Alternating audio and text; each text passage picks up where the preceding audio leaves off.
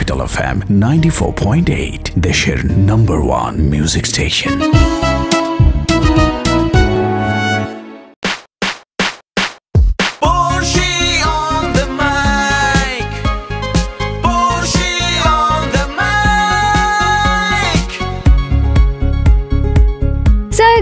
আসসালামু আলাইকুম। একদমই আমি চলে এসেছি with my show Porshi on the mic এবং শুনছে হলো capital of ninety four point eight আমি একদম আছি ঠিক রাত এগারোটা পর্যন্ত।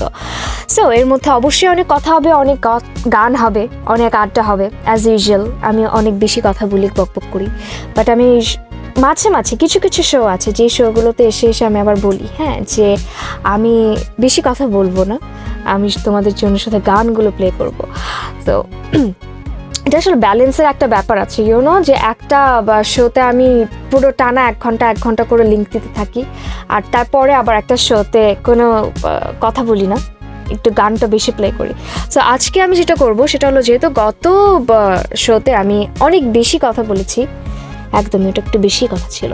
যাই হোক, অনেক বেশি কথা বলেছি, ওটার জন্য আজকে আমি যেটা করব সেটা হলো তোমাদের জন্য বেশি বেশি করে গান প্লে করব। এবং ট্রাস্ট মি আজকে আসলেই আমি বেশি বেশি করে গান প্লে করব এবং কম কম করে কথা বলব। সো এই কম কম করে কথা বলার মধ্যেও কিন্তু তোমাদের সঙ্গে আড্ডা হবে এবং কীভাবে হবে সেই ব্যাপারটা তোমাদেরকে একটু জানিয়ে দিচ্ছি। আমাকে কিন্তু তোমরা টেক্সট করতে পারো। আমাকে টেক্সট করার জন্য যে নিয়মটি রয়েছে, তাহলে তোমাদের মোবাইলের মেসেজ অপশনে গিয়ে সেখানে টাইপ করবে। সি এফ এম তারপর একটি স্পেস দিয়ে তোমার নাম, তারপর একটি স্পেস দিয়ে তোমার লোকেশন তারপর একটি স্পেস দিয়ে তোমার যা যা কথা আছে সেটি লিখে পাঠিয়ে দিবে two six nine six nine এই নম্বরে। রাইট সো ইয়া বেশি বেশি করে আজকে আমি একটু ব্যাপারটা ইজি করে দিলাম। আজকে তোমাদেরকে কমেন্ট আমি কমই করতে বললাম যে একটু কম কমেন্ট করতে পারো, কোনো সমস্যা নেই। আজকে বেশি বেশি করে তোমরা এস এম এসটা করো বিকজ আজকে আমি এস এম এসটা বেশি করে পড়ব। রাইট সো তোমরা এখনই জাস্ট এস এম এস করাটা স্টার্ট করে ফেলো। যারা যারা এখন পর্যন্ত আমাকে এস এম এস করোনি, তাদেরকে বলছি যে প্লিজ তোমাদের নামটা আমি জানতে চাই। তোমরা কারা? এরা কারা? যারা আমাকে এস এম এস করে, বা যারা যারা আমাকে শোনে। সো আমি আসলে জানতে চাই ইউ নো ওয়াই যে, তোমরা যখন আমাকে শুনছো আমি যদি এটা জানতে পারি, তোমাদের নামটা যদি অ্যাটলিস্ট আমি জানতে পারি, তাহলে আমার কাছে ভালো লাগে যে আচ্ছা এই এই মানুষগুলো আমাকে শুনছে। ওকে সো জাস্ট তোমরা আমাকে এস এম এসের মাধ্যমে তোমার নামটাও জানালে, তোমার কথাটাও জানালে। অ্যান্ড এই আরেকটা কথা যেটা আমি সবসময় সবগুলো শোতে বলে থাকি, সেটা হলো তোমাদের যদি কারও এমন কোনো কথা থাকে যে কথাগুলো আমার সঙ্গে শেয়ার করতে চাও বাট চাও না যে আমি অনিয়ারে এই ব্যাপারটা তোমার নাম নিয়ে কথাটা বলি সো সেই ক্ষেত্রে সেটাও তোমরা আমার সঙ্গে এখানে শেয়ার করে ফেলতে পারো। তোমাদের সেই কথাগুলো আমাকে অবশ্যই বলতে পারো বাট তার আগে সেই কথাটা বলার আগে অবশ্যই ব্র্যাকেটে লিখে নেবে যে, আপু, এটা তুমি অনিয়ারে বলো না। এই কথাটা আসলে ফার্স্ট লিখে নেবে। অনেকে আছো যে তোমরা অনেক বড় করে এস এম এসটা করো। এস এম এসটা করার পর লাস্টে লিখে যে, আপু, এটা বলো না। So S M S already আমার পড়া হয়ে যায় অনিয়ারে তারপরে আমি লাস্টে গিয়ে দেখি যে, ও আচ্ছা আমাকে তো পড়তে মানা করছিল ম্যান সে। সো সেটার জন্য আমি বলছি যে তোমরা আমাকে আগে এস এম এস এর আগে এই ব্যাপারটা একটু লিখে নেবে যে, ওকে, আপু, এটা তুমি আমাকে লাইক এটা তুমি হলো অনিয়ারে বলো না। সো আমি এটা বলব না। তোমার নামটা নিয়ে অ্যাটলিস্ট বলব না, ঠিক আছে? আর ইয়াস তোমাদের সবার সব কথা আমার সঙ্গে শেয়ার করতে পারো। আর আরেকটা ব্যাপার, সেটা আমি, এই কথাটা আমি বরাবর বলে থাকি যে হয়তো বা তোমাদের প্রবলেমের কোনো সলিউশন আমি দিতে পারব না। কিন্তু থাকে যে কিছু কিছু ক্ষেত্রে ইউনো যে আমাদের আমাদের কথাগুলো যদি কারোর সঙ্গে আমরা শেয়ার করি, কিছু কিছু কথা থাকে যে শেয়ার করলে না কষ্টটাও কমে বা আমাদের মধ্যে যে ডিপ্রেশনগুলো থাকে সেগুলো কমে যায়। হ্যাঁ শেয়ারিংয়ের মাধ্যমে ডিপ্রেশনগুলো কিন্তু কমে। সো শেয়ার করতে পারো, কোনো সমস্যা নেই। যদি তোমার কাছে মনে হয় যে তুমি জাস্ট আমার সঙ্গে শেয়ার করতে চাও, কাউকে জানাতে চাও না, সেটাও করতে পারো। সেটাও ব্র্যাকেটে লিখে দেবে যে, আপু, এটা তুমি পড়োই না। সেটা আমি পড়বোই না অন ইয়ারে ঠিক আছে? অ্যান্ড এই তো, এই ব্যাপারগুলো তোমাদেরকে একটু জানানোর জন্য, এটা, এগুলো হলো ইনফরমেশন হ্যাঁ তোমাদেরকে জাস্ট একটু আমি জানিয়ে রাখি এই ব্যাপারগুলো সবসময়। প্রথমের দিকে, এবার শুরু হবে হলো আমার কথা বলার পালা এবং তোমাদের কথা বলার পালা।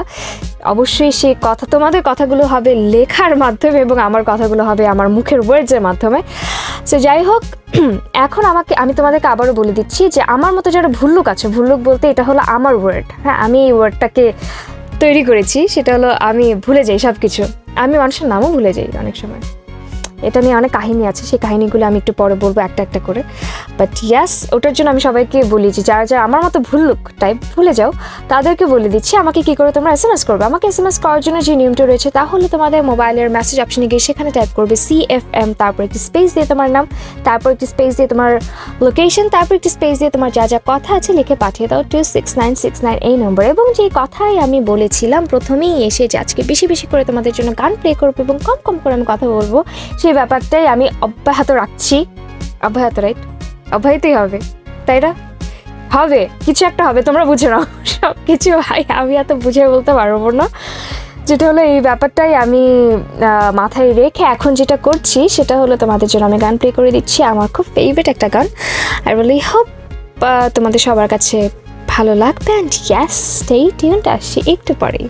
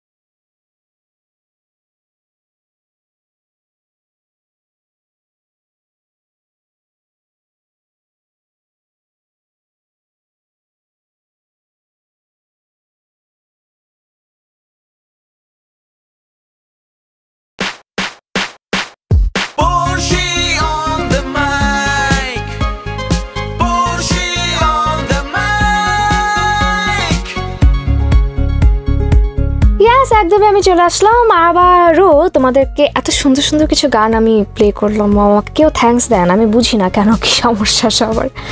সবাই এত কিপটা কেন, আমাকে কেউ থ্যাংকস দিতে চায় না। এনিওয়েজ আমি তোমাদেরকে থ্যাংকস দিয়ে দিচ্ছি এই জন্য যে তোমরা আমার সঙ্গে আছো এখনও সো এখন আমি তোমাদেরকে যেটা বলব, সেটা হলো প্রথমেই যে আমাকে তোমরা অনেকে টেক্সট করেছ থ্যাংক ইউ সো মাচ যা যা আমাকে টেক্সট করেছ, আর যা যা এখন পর্যন্ত টেক্সট করোনি তাদেরকে বলছি, বেশি বেশি করে আমাকে টেক্সট করে ফেলো।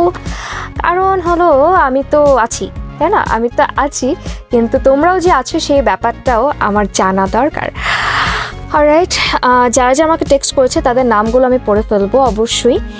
আর যারা যারা জানো না যে কীভাবে টেক্সট করতে হবে, বা এখন মাত্র হলো আমার সঙ্গে জয়েন করলে, তাদেরকে বলে দিচ্ছি আমাকে টেক্সট করার জন্য যে নিয়মটি রয়েছে, তাহলে তোমাদের মোবাইলের মেসেজ অপশনে গিয়ে সেখানে টাইপ করবে সি এফ এম তারপর স্পেস দিয়ে তোমার নাম, তারপর স্পেস দিয়ে তোমার লোকেশন তারপর স্পেস দিয়ে তোমার যা যা কথা আছে লিখে পাঠিয়ে দাও সিক্স নাইন সিক্স নাইন এই নম্বরে রাইট সো আমাকে তানিয়া লিখেছে, তারপর ঈশ্বর জাহান আছে আমার সঙ্গে, নাদিয়া আছে আমার সঙ্গে, তারপর হলো ইতি আছে। ও, আজকে এত সুন্দর সুন্দর নাম কেন? ওকে আমার সঙ্গে আরও আছে হলো Farzana and thank you so much guys এত কিউট করে আমার আচ্ছা আপু কেমন আছে? আমি খুব ভালো আছি, আলহামদুলিল্লাহ। তোমাদের কি অবস্থা? সেটা আমাকে একটু জানাও। সবারই হলো একটা ইয়ে হলো কমন থাকে, একটা টেক্সট হলো কমন থাকে, সেটা হলো, আপু, তুমি কেমন আছো? হ্যাঁ সো আমি যারা যারা এই ব্যাপারটা জানতে চাও, তোমাদের সবাইকে বলে দিচ্ছি যে হ্যাঁ আলহামদুলিল্লাহ, আমি ভীষণ ভালো আছি অ্যান্ড আই রিয়েলি হোপ যে তোমরা সবাই খুব ভালো আছো। আর জেহাদ আমাকে লিখেছে, টয় আমাকে লিখেছে কিছু কিছু গানের জন্য তোমরা রিকোয়েস্ট করেছ, আমি অবশ্যই সেই গানগুলো প্লে করার ট্রাই করব। আর আর বাকি যারা যারা যেই যেই গানগুলো শুনতে চাও, আমাকে তোমরা জানিয়ে দাও যে এই গানগুলো তোমরা শুনতে চাইছো, আমি অবশ্যই সেই গানগুলো প্লে করে দেবো। আর হলো খ্যারিয়ত গানের জন্য একজন আমাকে বলছে, খ্যারিয়ত is like one of my favourite songs actually খ্যারিয়ত গানটা আমি মাঝে এসে একবার আমি প্লে করেছিলাম এবং আমি বলছিলাম একটা কথা যে, আমি লাস্ট তিন দিন ধরে টানা সকাল থেকে রাত রাত থেকে সকাল সকাল থেকে রাত রাত থেকে সকাল, এরকমভাবে শুনছিলাম। স্টিল আমি শুনি বাট থাকে না যে কিছু কিছু সময় গানগুলো যখন বেশি শোনা হয়ে যায় না, তখন আসলে তারপরে একটা সময়ের পরে গানগুলো মানে ওরকম আর ব্যাপারটা হয় না। বাট এই গানটা এমন একটা গান আমার কাছে আমার কাছে এখনও হলো খুব ভালো লাগার একটা জায়গার মধ্যে রয়েছে। সো অবশ্যই আমি খায়রিয়াত গানটা প্লে করে দেব। এবং অরিজিৎ সিংয়ের আরেকটা গানের জন্য আমাকে রিকোয়েস্ট করা হয়েছে, সেটা হলো আবাদ আবাদ বরবাদ। সো আবাদ বরবাদ is also a very very very nice song. Like very nice song and uh, আমি আহ, এই এই গানগুলোর কথা যদি বলি এই সংসের কথা যদি বলি যে আবাদ বারবাদ অ্যান্ড খায়রিয়ত এ দুটোই হলো আমার পছন্দের এ দুটোই। So I love this song a lot like this songs a lot so আমার সাথে আর কারা কারা জয়েন করেছে সেই ব্যাপারগুলো আমি একটু দেখে নিচ্ছি বাট তার আগে তোমাদেরকে বলে দিচ্ছি ডু টেক্সট মি তোমাদের যার যে কথা আছে সেগুলো, তোমাদের যার যা মনের মধ্যে কথা আছে সেগুলো অ্যান্ড একদমই যার যা হলো আমাকে কমেন্ট করছ, তোমাদেরকে বলে দিচ্ছি যে অফকোর্স আমি কমেন্টগুলো পড়ব বাট একটু পরে পড়ব বাট আজকে অ্যাকচুয়ালি আমি টেক্সটগুলো একটু বেশি বেশি করে পড়ব, ওটাই আমি চিন্তা করে রেখেছিলাম যে ওকে আমি একটু বেশি বেশি করে টেক্সট পড়ব। সো টেক্সটগুলো আমি অবশ্যই পড়ব। বাট কমেন্টের ক্ষেত্রেও যে এমন হবে যে, আমি একদমই কমেন্টগুলো পড়ব না, তা নয়। কমেন্টও পড়ব। অবশ্যই কমেন্টগুলো পড়া হবে। আর আমাকে লিখেছে হলো জিহাদ আমাকে আবারও লিখেছে, অ্যানি আমাকে লিখেছে। আচ্ছা তারপর হলো আচ্ছা ওয়েট তোমরা একজন আমাকে হলো নামটা কি আমাকে লিখেনি? এখানে জাস্ট লিখেছে হলো আজকে আচ্ছা ওর একটা ডগ আছে, সেই ডগটাকে নিয়ে ও লিখেছে যে ওর ডগটা হলো ওর অনেক পছন্দের। সো মেবি ওর নাম হলো টমি আমি হলো যতটুকু ওর এই এস এম এসটা পড়ে যতটুকু বুঝতে পারছি যে ডগের নাম হলো টমি এবং ওর ফেভারিট ডগ এবং আরও অনেক কিছু লিখেছে এই ব্যাপারটা নিয়ে। সো পেট ডগের ব্যাপার বা পেট ক্যাটের ব্যাপার আমি যদি বলি যে কোনো পেটসের ব্যাপার যদি আমি বলি, তাহলে আমি বলব যে, দেখো শুধুমাত্র যে আমি বাসায়, বাসার মধ্যে নিয়ে আসলাম, তাহলেই যে আমি শুধুমাত্র কেয়ার করব একটা কুকুরের, একটা বিড়ালের, তা কিন্তু নয় রাইট এটা আমার যেটা মনে হয় যে, দেখো, একটা চড়ুই পাখিও যদি তোমার জানলার মধ্যে আসে হ্যাঁ সেই চড়ুই পাখিটাকেও তুমি যদি কিছু চাল দাও খেতে দ্যাটস অলসো নাইস হ্যাঁ that's also nice you can just do that যেমন আমার আমার বাসার মধ্যে আছে আমাদের যে বিল্ডিংটা, এই বিল্ডিংয়ের মধ্যে আমাদের শুধুমাত্র আমার বাসায় যে আছে এমন না, আমার উপর তলায় আছে। মানে সবার, সবাই মিলে আসলে আমাদের এই বিল্ডিংয়ের মধ্যে কুকুর, বিড়াল, হাঁস, মুরগি কোনো কিছু বাদ নেই। সবাই সব কিছু পালে। অ্যান্ড আমাদের রাস্তার মধ্যে একটা কুকুর আছে, কালো একটা কুকুর আছে। সো আমরা যেটা করি যে, আমরা বিল্ডিংয়ের যারা যারা আছি, মোট পাঁচজন, আমাদের আমাদের এইজের মধ্যে হয়তো বা আমার থেকে একটু এক বছরের ছোট বা দু বছরের বড় এরকম আছে। সো সবাই মিলে আমরা যেটা করি যে, প্রতিদিন সেই কুকুরটাকে খাওয়ানোর একটা ব্যবস্থা করি। হ্যাঁ আমি আজকে পারলাম না, তো কালকে আমার ফ্রেন্ড করল। কালকে ও পারল না, তো আরেকজন করল। হ্যাঁ এমন না যে একজনই সারা- সারা- সারাক্ষণ করতে পারছে। সো আমার কাছে এটা এই জন্য তোমাদেরকে বলছি যে দেখো, একটা রাস্তায়ও যদি একটা বিড়ালকে দেখো, তোমার কাছে যদি কোনো খাওয়া থাকে যে তুমি তাকে দিতে পারো, তাকে দিবা। একটা কুকুরকে দেখলা, তাকে দিবা। দয়া করে তাদেরকে এই যে মারধর করা যে ব্যাপারটা থাকে না, অযথা অনেককে দেখি যে জাস্ট কিছু করে নাই সে কুকুরটা কিছুই করে নাই। জাস্ট রাস্তা দিয়ে উনি যাচ্ছেন কে একজন যাচ্ছেন, হাঁটছেন রাস্তার পাশে কুকুরটাকে দেখল আজাইর আগে একটা লাথি দিল। বা আজাইর আগে হলো পানি উপরে ফেলে দিবে। Please don't do that don't do that আমরা সবাই আলহামদুলিল্লাহ যে আমরা মানুষ হয়ে আল্লাহ আমাদেরকে সৃষ্টি করেছেন। রাইট আমাদেরকে অন্য কিছু করে সৃষ্টি করেন নেই। আমাদেরকে পশু পাখি আমরা না, আমরা হলো মানুষ, আলহামদুলিল্লাহ। সো আমাদের সেই ব্যাপারটাকে মাথায় রাখা উচিত। আমাদের এত নির্মম যদি আমরা হই, তাহলে আসলে হবে না। শুধুমাত্র কুকুর, বিড়ালের কথাও আমি বলছি না, একটা পাখির কথা বলছি। অনেকে আছে, আমি সেদিন দেখছিলাম যে একটা পাখি এসে এ করছে, পাখিটাকে ধরে এনে খাঁচার মধ্যে রেখে বাস। মানে বুঝলাম না ভাই, কি সমস্যা? তুমি খাওয়াও? তুমি সামনে একটা বাটি দিয়ে রাখো, বারান্দার মধ্যে একটা ছোট একটা বাটি দিয়ে রাখো, প্লাস্টিকের বাটির মধ্যে। তুমি খাওয়ার, দিয়ে রাখো, ওরা নিজের থেকে এসে খাবে, উড়ে যাবে দ্যাটস ইট যদি হ্যাঁ যদি কোনো সিক কোনো কিছু থাকে যে হ্যাঁ ওটা অসুস্থ বা ওটার একটু ট্রিটমেন্টের দরকার আছে then you can just keep it okay then you can just keep it এবং ওটার আবার সুস্থ হয়ে গেলে আবার তুমি ছেড়ে দাও। হুম, আর যদি তুমি ঠিক মতো রাখতে পারো, তাহলে তুমি রাখো, কোনো সমস্যা নেই। So basically that's the main thing আর যে ব্যাপারগুলো আছে, সেটা নিয়ে আমি অবশ্যই বলব। আর তোমাদের যারা যারা ভুল্লুক আছো, তোমাদেরকে আমি বলে দিচ্ছি আবারও যে তোমরা আমাকে কি করে এস এম এসগুলো করতে পারো। আমাকে এস এম এস করার জন্য যে নিয়মটি রয়েছে তা হলো তোমাদের মোবাইলের মেসেজ অপশনে গিয়ে সেখানে টাইপ করবে সি এফ এম তারপর একটি স্পেস দিয়ে তোমার নাম, তারপর একটি স্পেস দিয়ে তোমার লোকেশন তারপর একটি স্পেস দিয়ে তোমার যা যা কথা আছে লিখে পাঠিয়ে দাও two six nine six nine এই নম্বরে। রাইট ইউজুয়ালি আমার ক্যামেরা থাকে ঠিক আমার সামনে। হ্যাঁ আজকে আমার ক্যামেরাটা হলো আমার ঠিক বাম পাশে। আমি এর দিকে যখন তাকাচ্ছি, আমি সব কথা ভুলে যাচ্ছি। সব উল্টাপাল্টা করে ফেলতেছি। সো হতা মাঝে মাঝে এরকম হয়। সমস্যা নেই। এখন আমি যেটা করব, সেটা হলো তোমাদের জন্য আরেকটা গান আমি প্লে করে দেবো। আর ভুলুক নিয়ে যে ব্যাপারটা আমি তোমাদেরকে বলতে নিয়েছিলাম, যে অনেক অনেক কাহিনী আছে। ভুলুক নিয়ে অবশ্যই আমার কাহিনী আছে, যে আমি, তোমরা একটা ব্যাপার জানো কিনা জানি না। আমি যখন থাকে না ফ্যামিলি প্রোগ্রামসগুলো যখন হয়, যে ফ্যামিলি প্রোগ্রামগুলো বলতে হলো, চাচা মামা, ফুপি, চোদ্দ গোষ্ঠী নিয়ে হলো প্রোগ্রামগুলো হচ্ছে। ভাই, আমি কাউকে চিনি না হ্যাঁ? ওইখানে গিয়ে আবার যেটা হয়, সবার নাম আমি ভুলে যাই। আমাকে কে বলে? বলো তো আমার নাম কি? আমি মাঝে মানে আমার মাথা মধ্যে জাস্ট ঘুরতে থাকে। এই কোয়েশ্চেনটাকে আমি এত ভয় পাই, এত ভয় পাই, কারণ মানুষের নাম আমার জীবনও মনে থাকে না। আমি, আমার ফুপি জাস্ট যে যে ফুপিরা আছেন হ্যাঁ ওনাদেরকে, ঠিক আছে, ওনাদের পর্যন্ত চিনি। হ্যাঁ বা আমার যে চাচারা আছেন সেই চাচাদেরকে পর্যন্ত চিনি। কিন্তু আমার আব্বুর যারা কাজিন আছে, তারা সুন্দর মতো এসে যখন বলে যে, বলো তো আমি কে? চাচা পুপি মানে সব সব যতগুলো মানে রিলেশনের নাম থাকে, আমি সবগুলো নামই আস্তে আস্তে করে বলতে থাকি ওনাদেরকে। এটা খুবই ভয়ঙ্কর একটা ব্যাপার। যাদের যাদের এই প্রবলেমটা আছে, তারা তারা হয়তো বা এই ব্যাপারটা রিলেট করতে পারো। এটার জন্য আমি কখনো ফ্যামিলি প্রোগ্রামে আমি অলওয়েজ হলো, হয় আমার আম্মুর পিছে পিছে ঘুরতে থাকি, আর নয়তো আমার ভাইয়ার পিছে পিছে ঘুরতে থাকি। আম্মুর পিছে ঘোরার একটা ব্যাপার আছে যে আম্মু হলো ওই ব্যাপারটা থেকে আমাকে অলওয়েজ ইয়ে করে ফেলে যে হ্যাঁ ঠিক আছে। মানে যেভাবেই হোক ব্যাপারটা মানে ম্যানেজ করে ফেলে আম্মু হ্যাঁ। আর ভাইয়ার পিছনে ঘোরার ব্যাপারটা হলো ভাইয়া কোনোখানেই যায় না হ্যাঁ।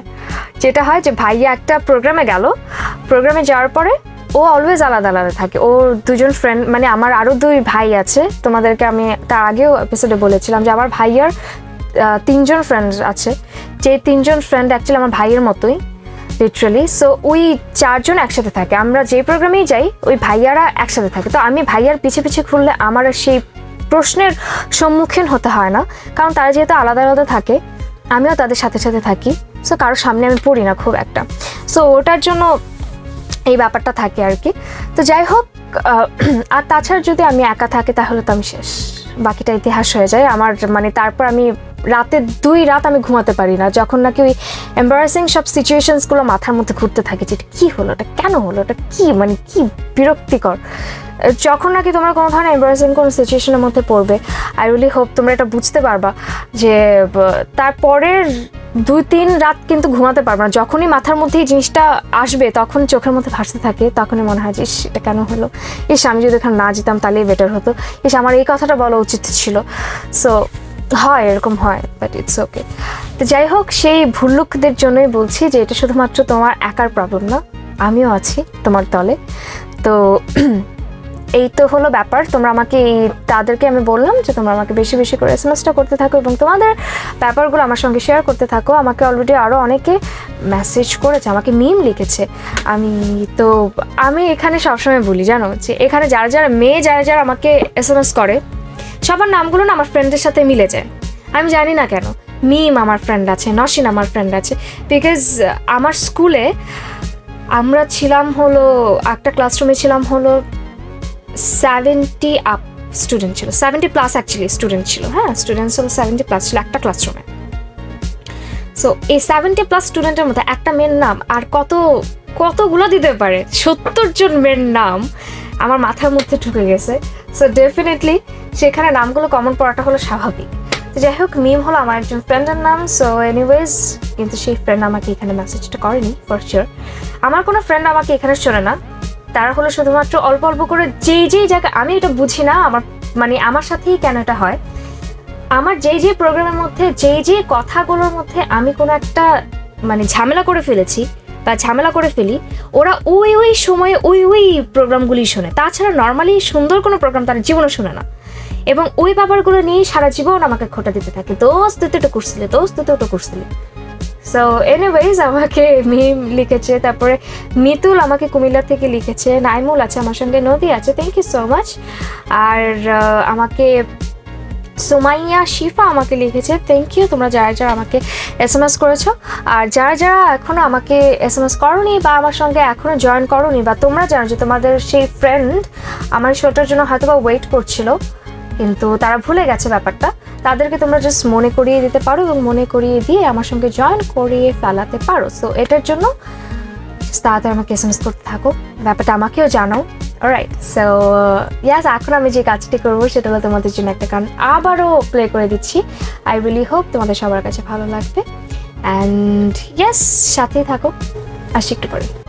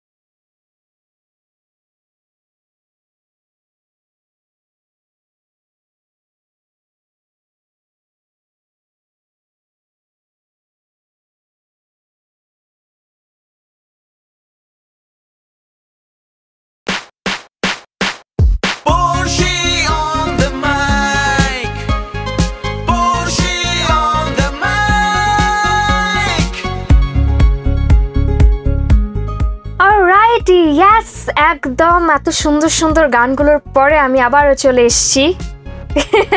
উইথ মাই শো পরশুন্দা মাইক যে নামটা নিয়ে সবাই বলে, আপু পরশুন্দা মাইকের বাংলাটা কি? মিনিংটা কি? মাইকের উপরে পড়ছি মানে সিরিয়াসলি সিরিয়াসলি ভাই? মানে আমি বুঝি না। হ্যাঁ তোমরা যে মাঝে মাঝে ট্রান্সলেটগুলো করো বাংলায়, আমাকে অনেকেই ভয় করে মেসেজ করছ এটা মানেটা কি? ইনফ্যাক্ট আমাকে ফোন কলসে আমাকে বলছিল যে, আপু, এটার মানেটা কি? ওকে তো বেসিক্যালি এটা মানে হলো, বাংলায় মানেটা হলো যে হ্যাঁ মিনিংটা হলো যে হ্যাঁ আমি পড়ছি মাইক্রোফোনে কথা বলছি, এই ব্যাপারটাই অ্যাকচুয়ালি মিনিংটা কাইন্ড অফ লাইক দ্যাট কথা বলছি না অ্যাকচুয়ালি আমি মাইকে আছি। এটা হলো ব্যাপারটা। সো এটাকে এখন তোমরা যদি অন্যভাবেও ট্রান্সলেট করতে চাও, করতে পারো, কোনো সমস্যা নেই।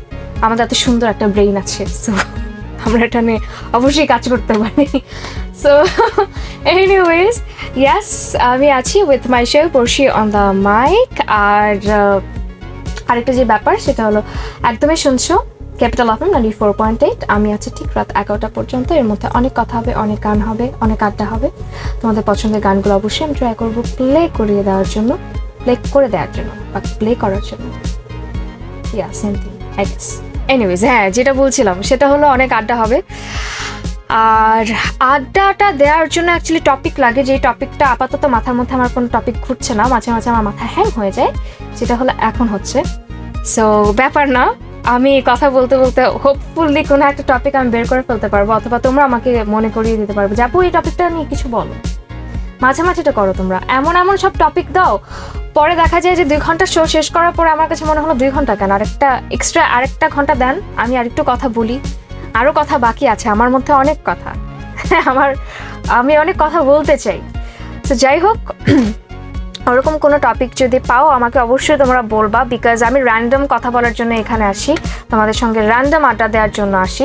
সো তোমাদের সেই র্যান্ডম আড্ডা দেওয়ার ব্যাপারটায় আসলে কোনো টপিক লাগে না। ফ্রেন্ডরা যখন কথা বলে, তখন আসলে কোনো টপিক নিয়ে কথা বলে না।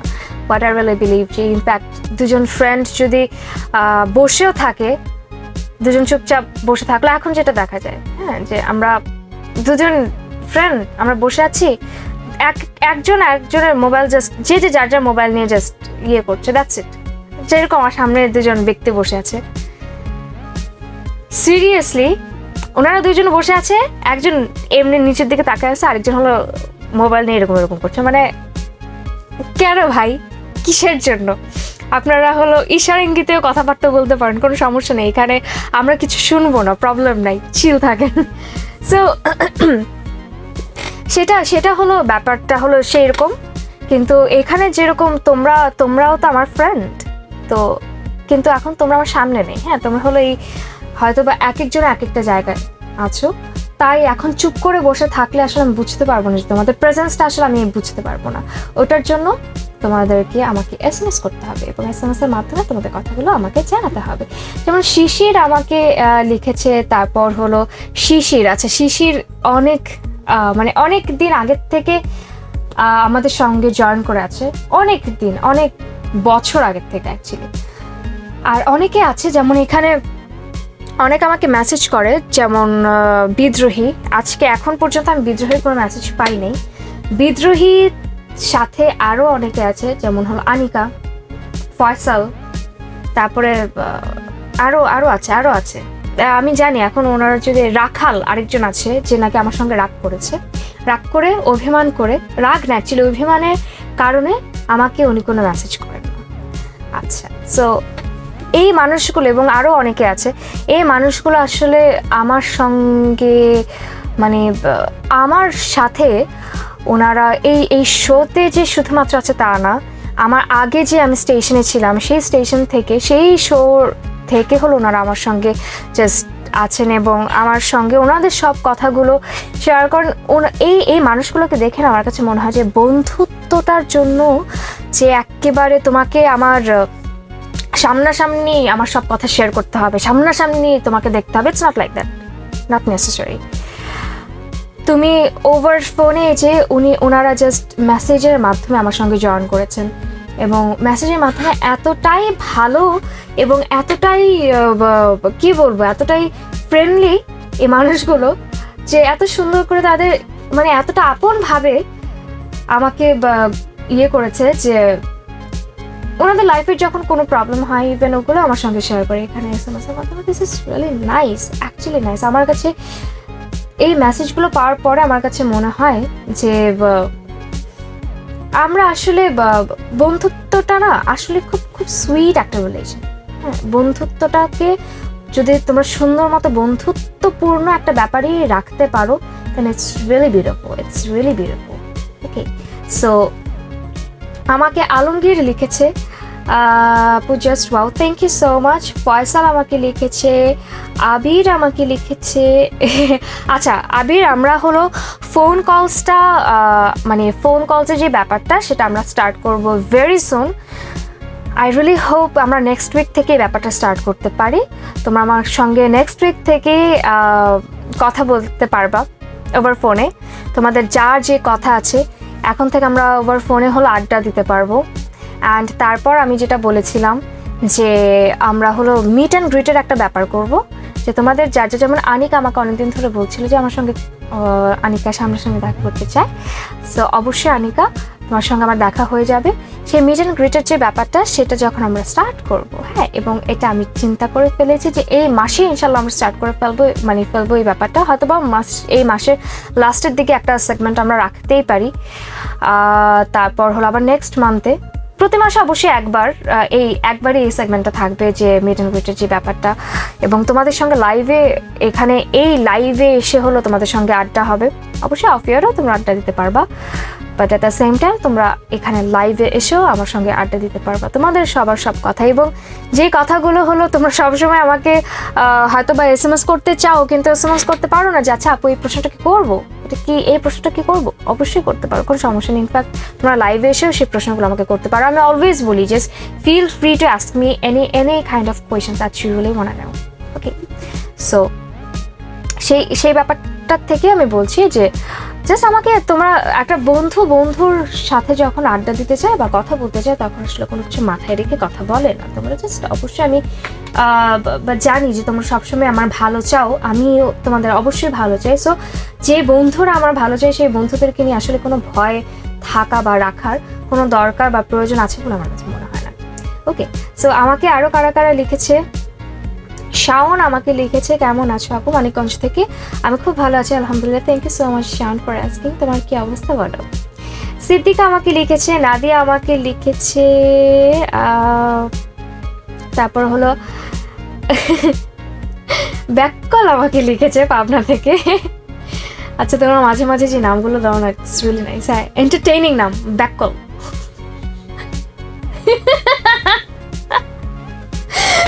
আসলেই হ্যাঁ নামগুলো খুব মজার কিন্তু। তো পলাশ আমাকে লিখেছে আচ্ছা এই এই জিনিসটা, এই এই টেক্সটটা অ্যাকচুয়ালি আমাকে প্রতিবার করা হয়। এবং আমি জানি না এই টেক্সটটা আমাকে কেন করা হয়, সেটা লাভ একটা হাসি দেন না প্লিজ আমি হাসতেই থাকি, ভাই, আমি সারাক্ষণ হাসতে থাকি। ইনফ্যাক্ট আমাকে অনেকে এটাও বলে যে, আপু, এত হাসো তুমি, তোমার কোনো কষ্ট নাই, কোনো দুঃখ নাই, তুমি এত হ্যাপি একজন মানুষ। তোমরা নজর লাগাতে লাগাতে এই অবস্থা করছ আমার। হ্যাঁ তোমাদের জন্য, তোমাদের নজর লেগেই অবস্থা হয়েছে আমার। আমি আর কিছু বললাম না। ওকে আমাকে সাইফুল লিখেছে নারায়ণগঞ্জ থেকে সাইফুল গাজী আমাকে নারায়ণগঞ্জ থেকে লিখেছে আহ, ধ্রুইন আমাকে লিখেছে তারপর হলো আরও অনেকে আমাকে লিখেছেন। সো এখন আমি যেটা করব সেটা হলো তোমাদের জন্য একটা গান প্লে করব। হ্যাঁ হঠাৎ করেই আমি বলছি কারণ হলো যে আমার কাছে মনে হচ্ছে এখন আমি যদি গানটা প্লে না করি তাহলে হলো আমি এখানে একটা বাজাতে পারব না এবং এটা না বাজালে কি হবে? খুবই বাজে হবে হ্যাঁ হ্যাঁ। একটা কথা আমার সিরিয়াসলি বলতে ইচ্ছে করছে। কিন্তু এটা এখন আমি বলব না। আমি জানি। এটা এখন আমি বলব না। আমি যেটা করব সেটা হলো তোমাদের জন্য এখন আমি একটা গান প্লে করে দিচ্ছি। আর বলে হোক তোমাদের সবার কাছে ভালো লাগবে। বাট ইয়াস স্টেই টিউন আসছি একটু পরে, গানের পরে।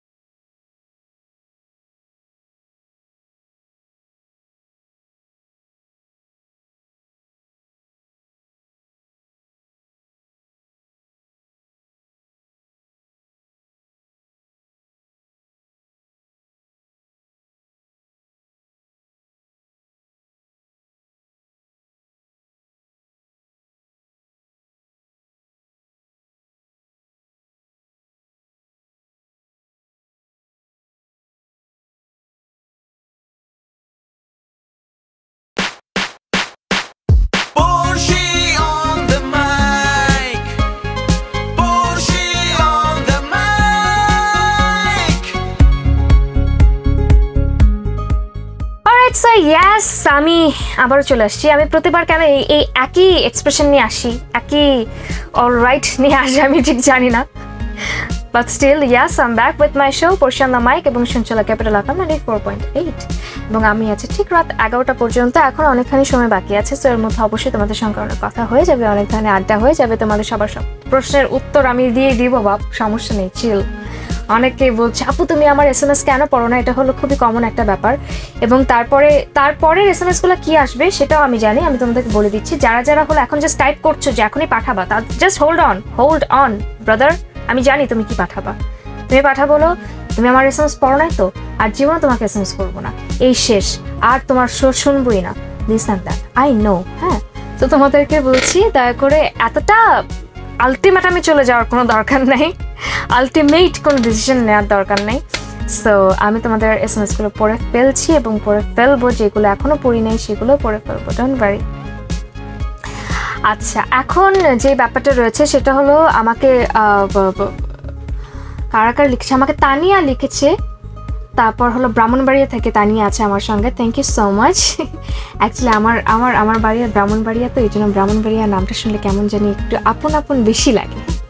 একটু বেশি মানে এক্সট্রা আপন লাগে আর কি সো হাফসা আমার সঙ্গে আছে, আমাকে হানজালা লিখেছে, তারপর হলো রাসেল আছে আমার সঙ্গে, টিয়া আছে, সাদিয়া আছে থ্যাংক ইউ সো মাচ আমি আসলে তোমাদের নামগুলো পড়ে ফেলছি এই জন্য, কারণ হলো তোমাদের যেই এস এম এসগুলো আসলে দেখি যে একটু বেশি ইয়ে সেগুলো আমি অবশ্যই পড়ে ফেলব বাট যেগুলো নাকি আমি দেখছি যে কেমন আছে, ভালো আছি, সেই এস এম এসগুলোর থেকে আমি হলো নামটা এই জন্য পড়ে ফেলছি যে নামটা পড়ে ফেলে অ্যাটলিস্ট আমার কাছে শান্তি লাগে যে হ্যাঁ আচ্ছা আমি নামটা পড়েছি। আর আরেকটা যে ব্যাপার যে তোমাদের নাম এবং এস এম এস সবগুলো যদি একসাথে আমি পড়তে থাকি, তাহলে যেটা হবে যে হয়তো বা সময়ে কোলাতে মানে কোলাতে পারব না যে হ্যাঁ আমি এই কয়টা এস এম এসে পড়ে আর এস এম এসগুলো পড়তে পারি নাই এই ব্যাপারটা হবে এবং তোমরা রাগ করবা। আমি চাই না। শর্মি আমাকে লিখেছে, শর্মি আমার একজন ফ্রেন্ড ছিল। বাট আমি ওর সঙ্গে অনেক ঝগড়া করেছি। ক্যাপ আচ্ছা আমাকে রফসান আচ্ছা আমাকে রফসান আমাকে লিখেছে যে, আপু, তোমার লাইফের কোনো মজার ঘটনা বলো। আমার লাইফের কোনো মজার ঘটনা, আমি হলো পুরাই একটা কি বলব, খুবই চুপচাপ টাইপের একজন মানুষ। আমার লাইফে কখনোই কোনো মজার ঘটনা, কখনোই ঘটে নাই। এটা যারা যারা আমাকে বলেছে, সবসময় আমার কাছে খুবই বিব্রত বোধ হয়েছে, কারণ হলো এই জন্য হয়েছে। এই কথাটা আমি যতবারই বলেছি যে আমার লাইফে কখনো কোনো মজার কোনো ঘটনা ঘটেনি, সবাই বলেছে এটা কি কখনো সম্ভব? এটা আসলে সম্ভব। আমাকে আমার আমার লাইফে যেহেতু সম্ভব হয়েছে, তার মানে হলো সম্ভব। এরকম না যে খুবই মজার ঘটনা বলতে অবশ্যই যেটা নাকি শুনলে এখনও হাসি পায় ওই রকম মজার ঘটনা তো বলতে চাচ্ছ। মানে বোঝাতে চাচ্ছ। ওরকম আমার কাছে আমার খুব একটা ইয়ে হয়নি। কারণ হলো আমি ছোটোবেলা থেকে আমি একটু বলি যে ছোটোবেলা থেকে আমি তো নানুর কাছে যেহেতু বড় হয়েছি, আমি সব সময় হলো খুবই ঘর কোনো থাকতাম। আমার ফ্রেন্ড খুব একটা ছিল না, আমার খালি একজন ফ্রেন্ড ছিল। আমি খুব একটা বাইরে বের হতাম না। আমার সকাল থেকে রাত পর্যন্ত আমার রুটিন যেটা ছিল যে সকালে ঘুম থেকে উঠলাম একদম ভোরে, তারপর হলো স্কুলে যেতাম। স্কুল থেকে আসতাম হলো কটার দিকে? এই দেড়টা দুটো? না, আমি যখন ভিকাওনাসে যখন পড়তাম, তখন আসলে কোচিং থাকতো। তার আগে তো কোচিং ছিল না। তখন তো হলো বাচ্চা মানুষ আমি।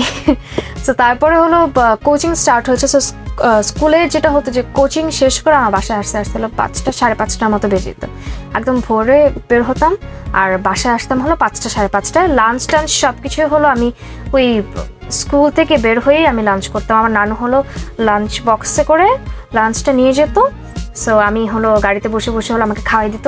খাও খাও খাও খাও খাও। অ্যান্ড তারপরে তার পাশাপাশি আসলে আমাদের টিচারদের বাসাগুলো ছিল। ওনাদের বাসায় গিয়ে গিয়ে হলো আমাদের কোচিং মানে কোচিংটা স্টার্ট হতো।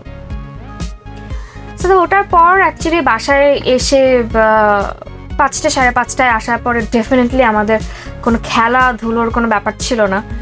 আমি জাস্ট হাত মুখ ধুয়ে কিছুক্ষণ রেস্ট নিতাম। রেস্ট নেওয়ার পরে পড়তে বসতাম। ইয়া আমার নানু হলো ঘাট ধরে আমাকে পড়তে বসাতো এবং সেই পড়াটা ছিল হলো একদম রাত নটা পর্যন্ত। অ্যান্ড আটটার দিকে আবার একটু আটটা, সাড়ে আটটার দিকে হলো আমার ইয়ে ছিল যে ডিনার টাইম ছিল সাড়ে আটটা থেকে নটার মধ্যে। তো ওই সময় ডিনারটা করে তারপর হলো কতক্ষণ আমি টিভি দেখতাম। কতক্ষণ ধরো ওই এক ঘণ্টার মতো টিভি দেখার একটা সময় থাকতো আর কি। সো ওই এক ঘণ্টার মধ্যে টিভি দেখো আর যেটাই করো করো। সো আমি এক ঘণ্টা অল্প টিভি দেখতাম আর অল্প হলো আমি যে জিনিসটা করতাম সেটা হলো টেইলারের কাছে গিয়ে, টেইলারদের কাছে অলওয়েজ দেখবা যে ছোট ছোট কাপড়গুলো, টুকরা টুকরা কাপড়গুলো থাকে। ওনারা বস্তার মধ্যে জাস্ট ব্যাগের মধ্যে ভরে রেখে দেয়। যে এরকম ব্যাগটা যখন একদম ভরে যাবে তখন ওগুলো ফেলে দেয়। তো আমি গিয়ে গিয়ে ওনাদেরকে বলতাম যে সেই কাপড়গুলো যেন ওনারা ফেলে না দেয়। আমি ওই কাপড়গুলো নিয়ে আসতাম। এত এত কাপড় এই ব্যাগ আমি নিয়ে যেতাম। ব্যাগের মধ্যে ছোটো ছোটো, টুকরা টুকরা কাপড়গুলো আমি নিয়ে আসতাম। নিয়ে এসে আমি হলে জামা বানাতাম, আমি পুতুলের জামা বানাতাম বসে বসে। অ্যান্ড এরকমও হয়েছে আমি আমার নানুর উপরে অনেক অত্যাচার করেছি অ্যাকচুয়ালি এই ব্যাপারগুলো নিয়ে। সেটা হলো যে নানুর উপরেই বেসিক্যালি এই ব্যাপারটা নিয়ে নানুর উপরেই আমার অত্যাচারটা হয়েছে। সেটা হলো আমার কথা ছিল, আমার নানু হলো অক্সফোর্ড ফাউন্ডেশনের প্রিন্সিপাল ছিলেন। তো ডেফিনেটলি আমার একটা ব্যাপার মাথার মধ্যে অলওয়েজ ঘুরতে যে নানু যখন স্কুলে যাবে, তখন নানু আমার বানানো শাড়ি পরে যাবে।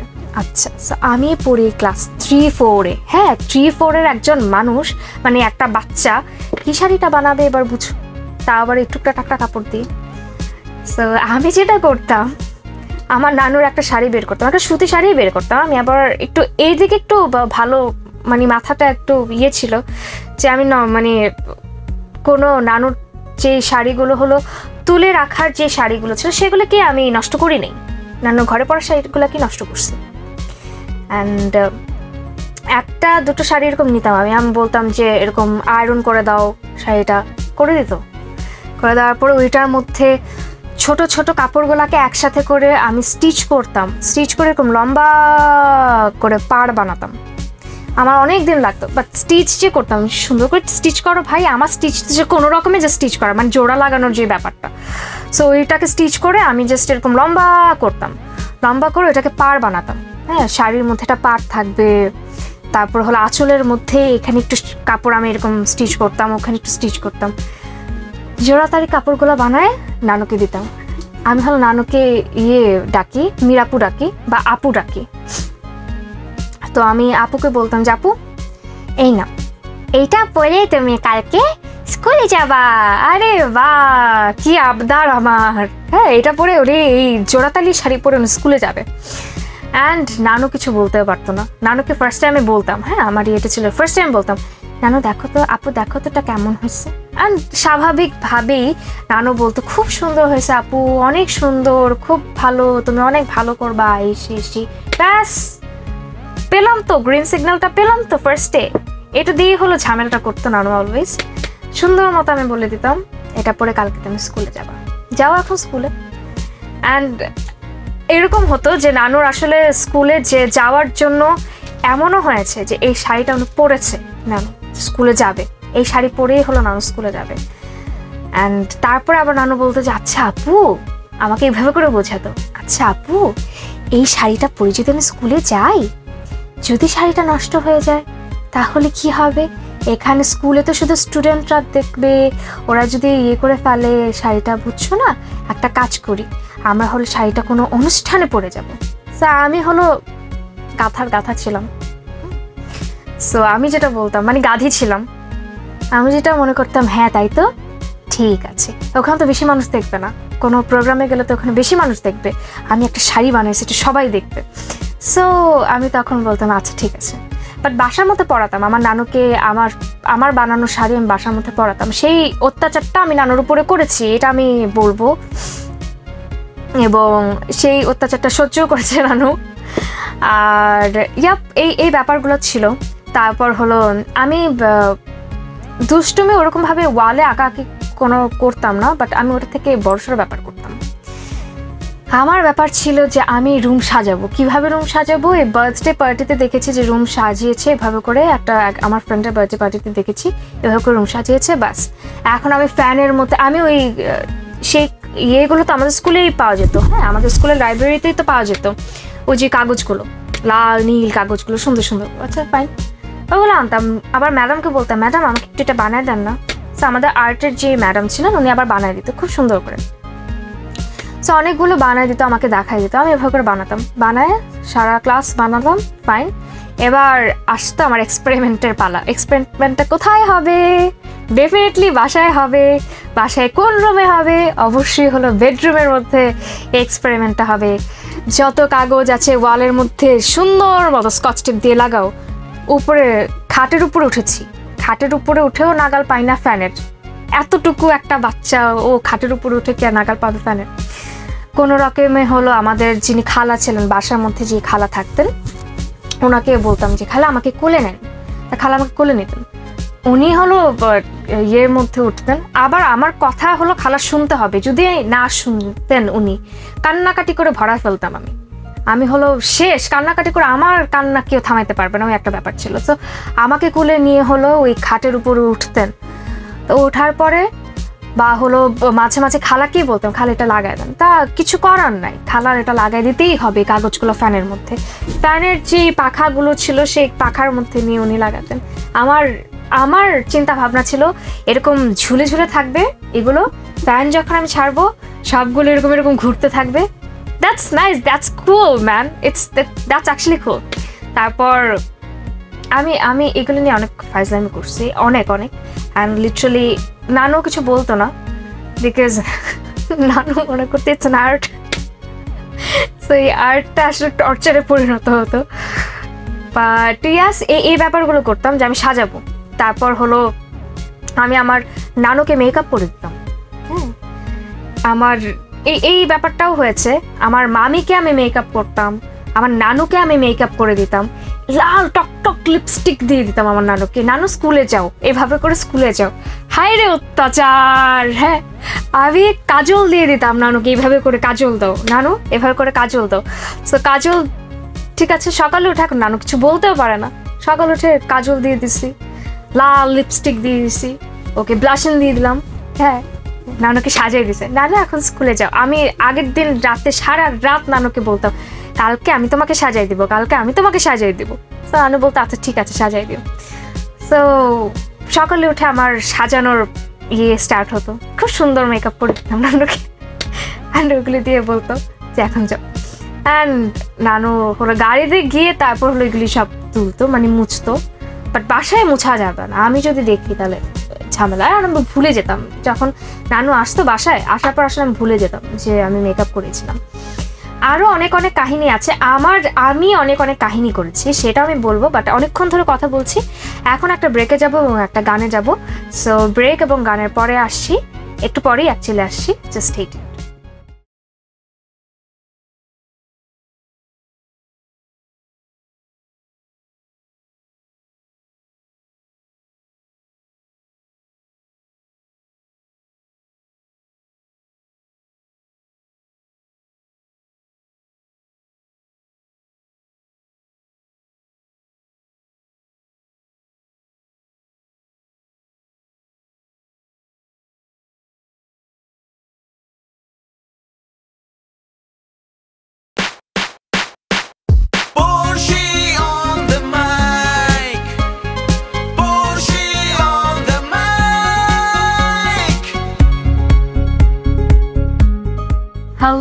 একদমই আমি আবার গুটি গুটি পাই নতুন একটা আওয়ারে পদার্পণ করলাম উইথ মাই শো পরিচালনা মাইক এবং শুনছো কেবল FM ninety four point eight আর এই আওয়ারে যেহেতু আমি চলেই আসলাম, তার মানে হলো আমি ঠিক আর এক ঘণ্টার মতো আছি তোমাদেরকে জ্বালানোর জন্য এবং আমার সেই ঘটনাগুলো তোমাদেরকে বলার জন্য।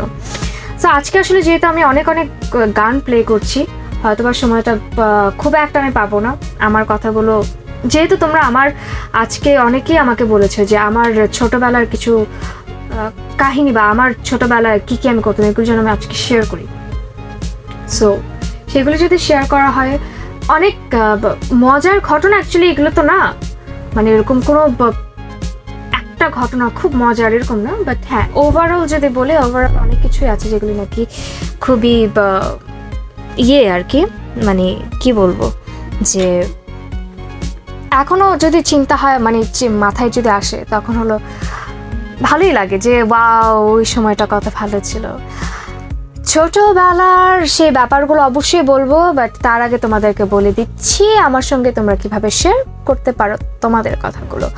আমার সঙ্গে তোমাদের কথাগুলো শেয়ার করার জন্য তোমাদের মোবাইলে মেসেজ অপশনে গিয়ে সেখানে টাইপ করবে সি এফ এম তারপর স্পেস দিয়ে তোমার নাম, তারপর একটি স্পেস দিয়ে তোমার লোকেশন তারপর একটি স্পেস তোমার যা যা কথা আছে লিখে পাঠিয়ে দাও two six nine six nine এই নাম্বারে আর কিছু? আর কিছু গুড আমার সামনে যে দুজন ব্যক্তি বসে আছে দেখে দেখলে আমার এমনি হাসি পাইতেছে আমার কি দরকার আছে? অসহায়ের মতো দুজন বসে আছে, চুপচাপ, কোনো কথা নাই, বার্তা নাই। একজন তাও হাসে, আরেকজন হাসেও না। যদি সাউন্ড চলে আসে এখানে যারা যারা আছে, ওনারা জানে যে এখানে দুজন মানুষ আছে সো ডোন্ট সাউন্ড তোমাদের মানে আপনাদের কথার বা ভয়েসের কোনো সাউন্ড আসলে কোনো সমস্যা নেই। এখানে সবাই বুঝে ব্যাপারটা। সো যাই হোক, এখন আমি যেটা বলছিলাম সেটা হলো আমাকে কারা কারা আচ্ছা আমাকে আচ্ছা টিয়া আমাকে লিখেছে, তারপর হলো ফাতেমা আমার সঙ্গে আছে, তারপর হলো ফাহিম আছে আমার সঙ্গে সাবেক। সাবেক সাবেক আচ্ছা ওকে মিম মিম, নাও। অ্যান্ড আবিবা আমার সঙ্গে আছে, সাদিয়া আছে। তারপর হলো আমাকে বাইজিদ লিখেছেন, তারপর পূজা লিখেছে, তারপর হলো মাহবুবা আমাকে লিখছে বুর্ষা লিখছে। Thank you so much Borsha হলো উত্তরা থেকে লিখছে। হাউস আচ্ছা বুর্ষা লিখেছে আমাদের পাশে পাশে একটা ছেলে ছিল, আমি যখন বাইরে যেতাম তখন ও এভাবে, এমনভাবে তাকিয়ে থাকতো মনে হয় জীবনে কোনোদিন মেয়ে দেখেনি। হাউস ভালোবাসা ভাই, ভালোবাসাটাকে বুঝলা না। আমার ব্যাপার যেটা হচ্ছে হ্যাঁ আমার আমার ব্যাপার যেটা হয়েছে, তোমার, তোমাদের তো খুবই ভালো ব্যাপার। হ্যাঁ আশেপাশে ছেলে আছে, তাও। আমার যেখানে বাসা লাস্ট ছয় বছরে আমরা তো ওখানে হলো অলমোস্ট সিক্স ইয়ার্স হবে, আছি। সো এই সিক্স ইয়ার্সে আমাদের আশেপাশে, আমাদের পাশের ছটা বাসা, আমাদের বাম পাশে ছটা বাসা, আমাদের সামনের রোতে যত বাসা আছে, কোথাও কোনো ছেলে নেই ভাই, সব মেয়ে। আমার ভাই হ্যাঁ কীভাবে এরকম একটা বাসা পাইছে আমি ঠিক জানি না। আমার ভাইকে আসলে প্রতিবার তাকে না সেলিউট দেওয়া উচিত। এইরকম একটা বাসা সে কীভাবে পাইলো? সব জায়গায় মেয়ে, কোনো ছেলে নেই, ছেলে আছে। ছেলে আছে, ধরো পাঁচ বছর, ছয় বছর। ওনাদেরকে তুমি ছেলে বলতে পারো না, বাচ্চা বলবা। সো আমার সামনে তারা বড় হয়েছে অ্যাকচুয়ালি হ্যাঁ আমার সামনে আমি আসি, এসে দেখছি, আহা, ছোট্ট বাচ্চা, ছোট্ট বাচ্চাটা বড় হয়েছে। এই আর তাছাড়া আশেপাশে আর কোথাও ছেলে নাই। কোথাও কোথাও নাই। ত্রিসীমানায় কোনো ছেলে নাই। সো এই ব্যাপারটা আমার সঙ্গে কখনোই হয়নি। এখন ওই ছয় বছর লাস্ট ছয় বছর তো হয়ই নেই লাস্ট ছয় বছর আমি কোনো ছেলেকে আশেপাশে দেখি নাই। আমাদের বাসার আশেপাশে। সো আর ছোটোবেলায় যেটা হতো, ছোটোবেলায় আসলে আমার, আমি, আমার বিয়ে করার খুব শখ ছিল। হ্যাঁ ছোটোবেলায়। আমি বাসার মধ্যে এটা সবসময় আমি একটা শোতেও বলেছিলাম। যে আমি ভাইয়ার একজন ফ্রেন্ড ছিল। এটা ভাইয়া এখন আমাকে ওটা নিয়ে হলো মাঝে মাঝে হাসায়। রাগায় না অ্যাকচুয়ালি হাসায়। বিকজ এটা এখন আমি চিন্তা করি যে কি মানে কি, কিসের জন্য? বিকজ ওই মানুষটার চেহারাই আমি ভুলে গেছি। খালি ওনার নামটা আমার মনে আছে। ওনার নাম ছিল সাগর হ্যাঁ? আমার ভাইয়ার ফ্রেন্ডের নাম ছিল সাগর। তো আমি ওনাকে একবার দেখেছিলাম বিকজ ভাইয়া ওই ফ্রেন্ডকে নিয়ে এসেছিল আমার নানুর বাসায়। ছাদে পিকনিক করবে। সো আমি ওনাকে দেখছি। আমি তো আর ভাই এত কিছু বুঝি না, আমি খালি জানি যে মানুষ বিয়ে করে। খালি বিয়ে করে ফাইন প্রেম, প্রীতি, ভালোবাসার ব্যাপার আমার মাথার মধ্যে নাই। সো বিয়ে করে এতটুকু বুঝছি। আমি দেখলাম আমার ভাইয়ের ওই ফ্রেন্ডকে সাগর ভাইয়াকে। সুন্দর মতো দেখে আমার কাছে খুব সুইট লাগছে, খুব ভালো লাগছে। আমার আমার সঙ্গে অনেক সুন্দর কারণ তখন ছোট। আমার সঙ্গে এত সুন্দর করে কথা বলছে, আমাকে চিপস খেতে দিচ্ছে। আমাকে বলছে, না চিপস খাও। আমার খুব ভালো লাগছে যে আমাকে চিপস খেতে দিয়েছে ইয়ে আমি নিচে এসে আমার নানু, মামা, মামি, আম্মু, আমার খালা হ্যাঁ মানে আমার আম্মুর কাজিন সেই সবাইকে এসে ঢোল পিটাই পিটাই বলছে, আমি সাগর ভাইয়াকে বিয়ে করব। আমি সাগর ভাইয়াকে বিয়ে করবই আমার ছোটবেলায় আমি জাতের উপরেই ক্রাশ খেতাম, আমি সবাইকে বলতাম যে আমি বিয়ে করব।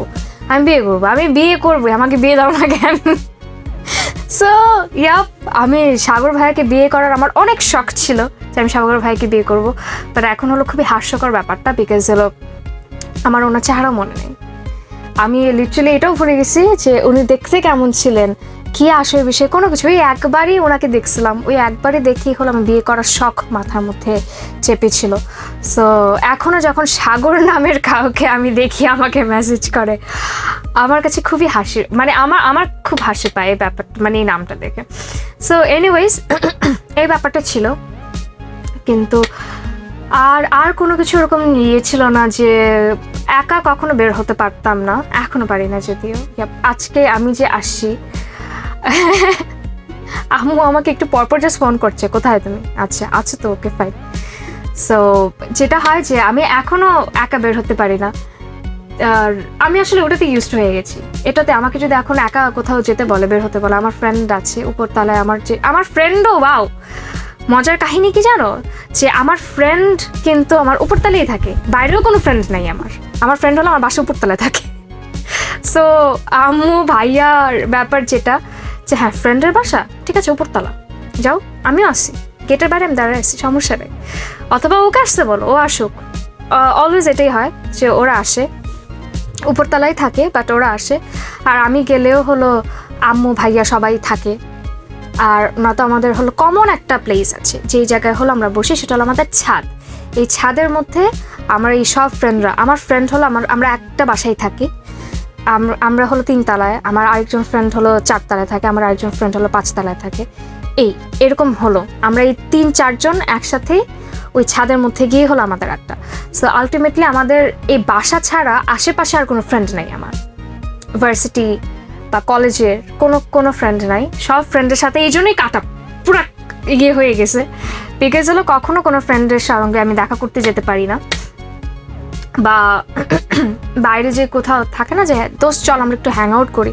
এটা আমি কখনো করিনি। আজ পর্যন্ত আমার লাইফে আজ পর্যন্ত আমি কোথাও বাইরে যাইনি এই ফ্রেন্ডদের সঙ্গে দেখা করতে। হ্যাঁ আসলে হলো বাসায় আসতো। সো এটা কয়জন ফ্রেন্ড আর পছন্দ করে। বাট ইয়াস আলহামদুলিল্লাহ আলহামদুলিল্লাহ লাকিলি আমার যে ফ্রেন্ডরা আছে, আমার বাসায় যে ফ্রেন্ডরা আছে, ওরা হলো আমার মতোই। হ্যাঁ ওদের হলো আমার মতোই অবস্থা।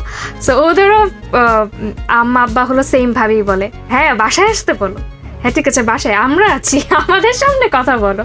তো থাকে না, আমাদের ফ্রেন্ডদের মধ্যে অনেক ধরনের কথা থাকে যেটা নাকি, ভাই বাপ মার সামনে কীভাবে বলব রে ভাই? সো ওইটা, ওইটাও হয়ে যায় অ্যাকচুয়ালি ম্যানেজ হয়, ব্যাপার না। তো ওটার জন্য আসলে কখনো ওরকম ব্যাপারগুলো হয়নি।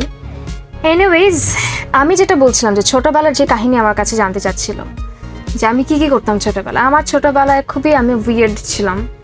আমার রাগ প্রচণ্ড ছিল, আমার রাগ এখনও আমি, আমার মতো রাগে মানুষ খুব কম আছে, যেটা নাকি খুবই খারাপ, আমি জানি।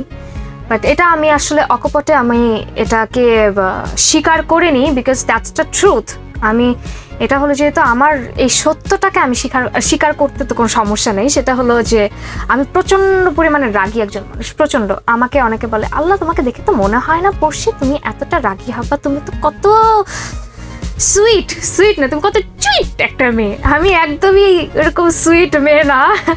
আমি প্রচণ্ড রাগী, যারা আমার ফ্রেন্ড তারা জানে। আমার ফ্যামিলি মেম্বার্স জানে অনলি অ্যান্ড আমার ফ্রেন্ডরা জানে।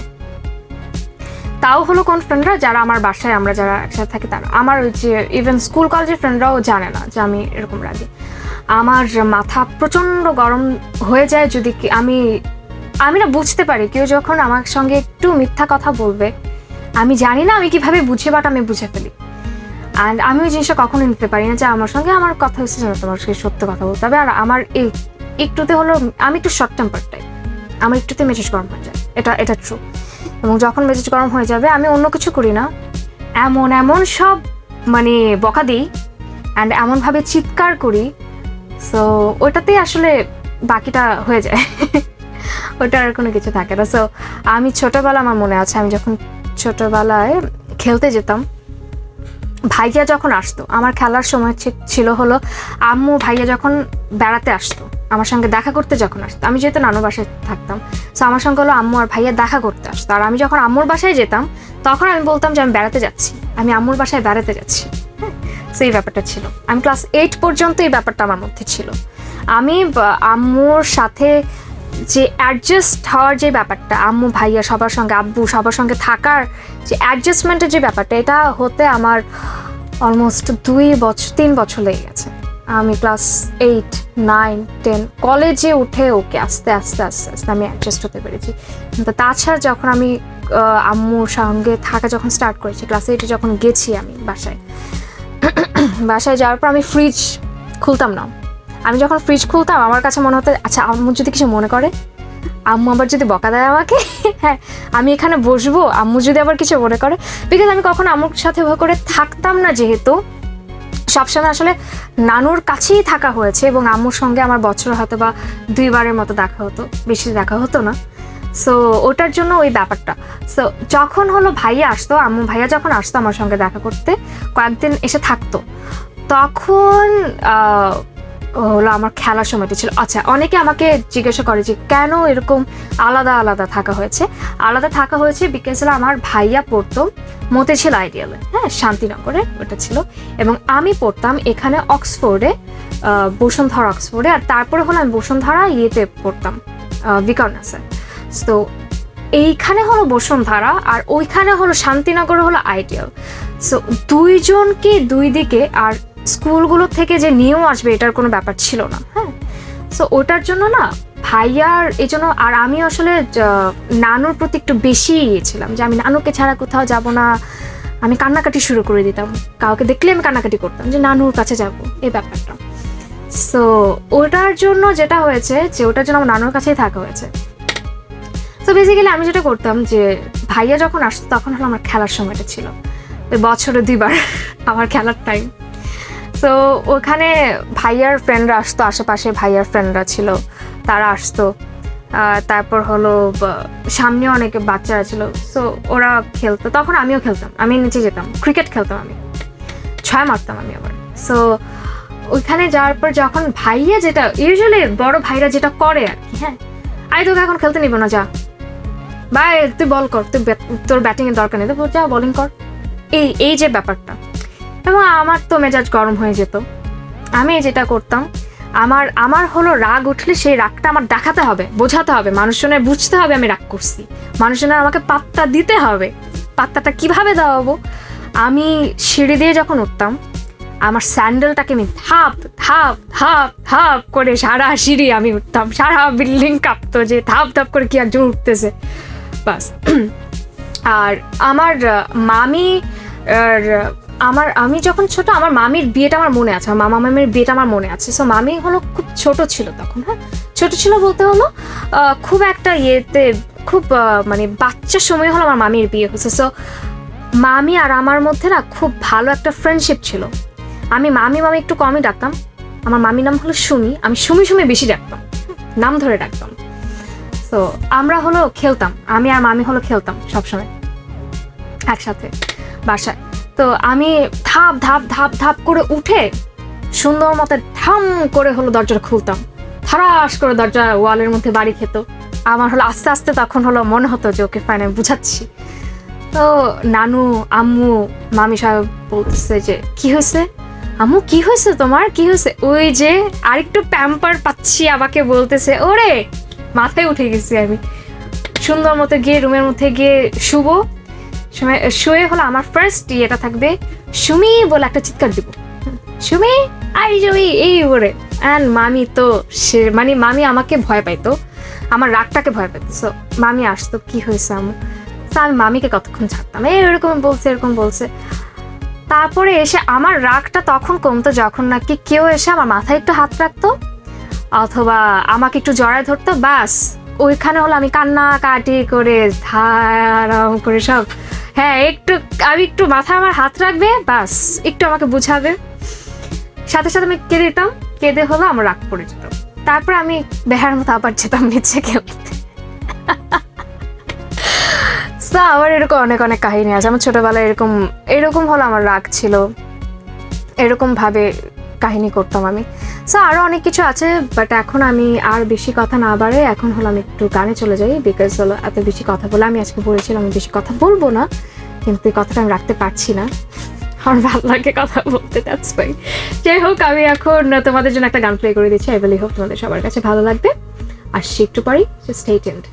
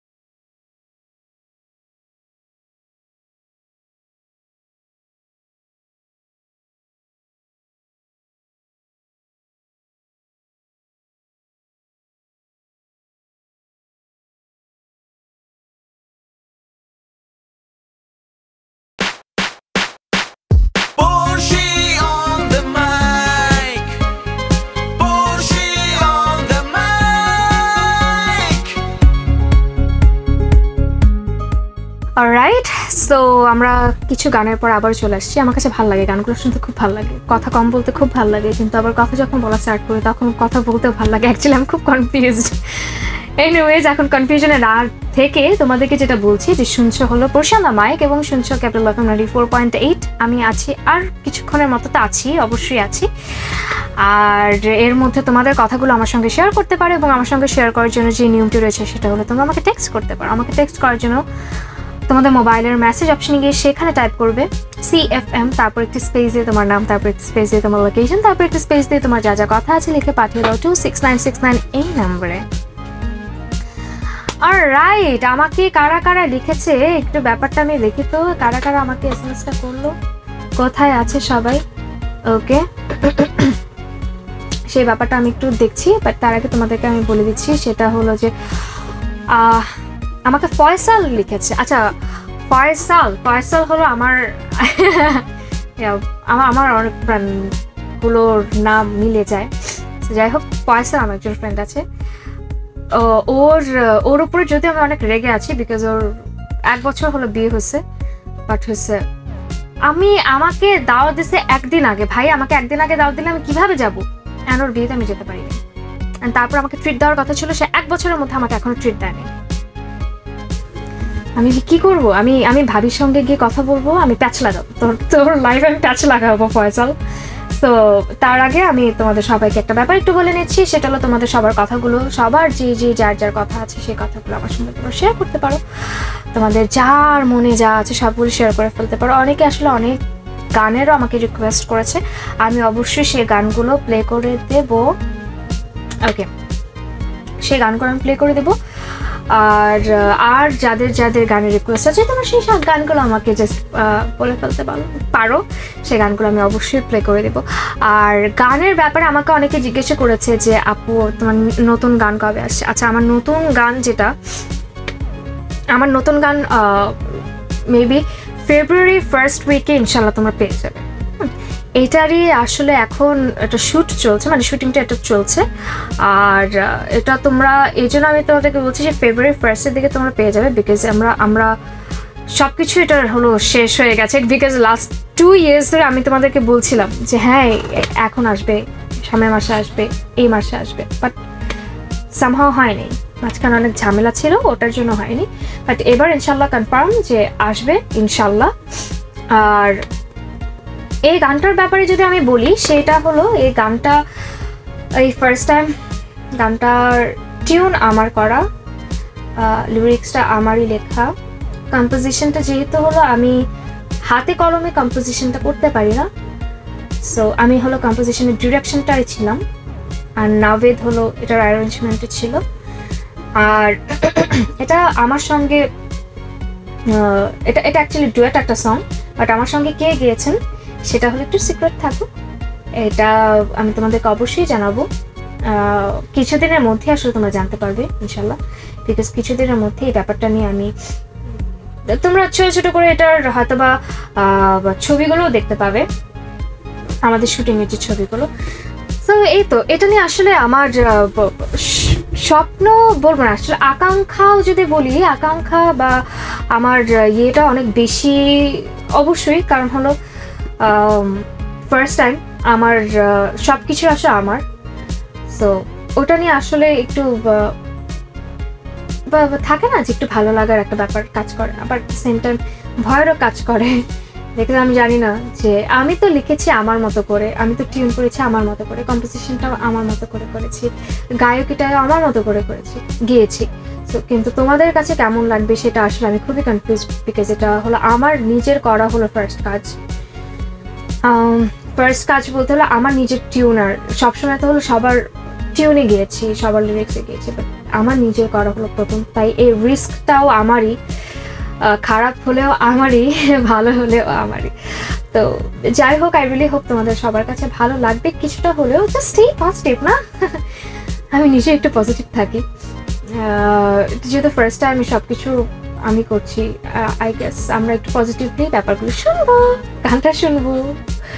মিউজিক ভিডিওটাও একটু দেখব আমাদের নিজের এবং ইয়াস মিউজিক ভিডিওর ক্ষেত্রে যেটা, যে আমাদের যিনি ডিরেক্টর তাকেও আমি অনেক প্যারা দিচ্ছি, প্যারা দিয়েছি এবং দিচ্ছি।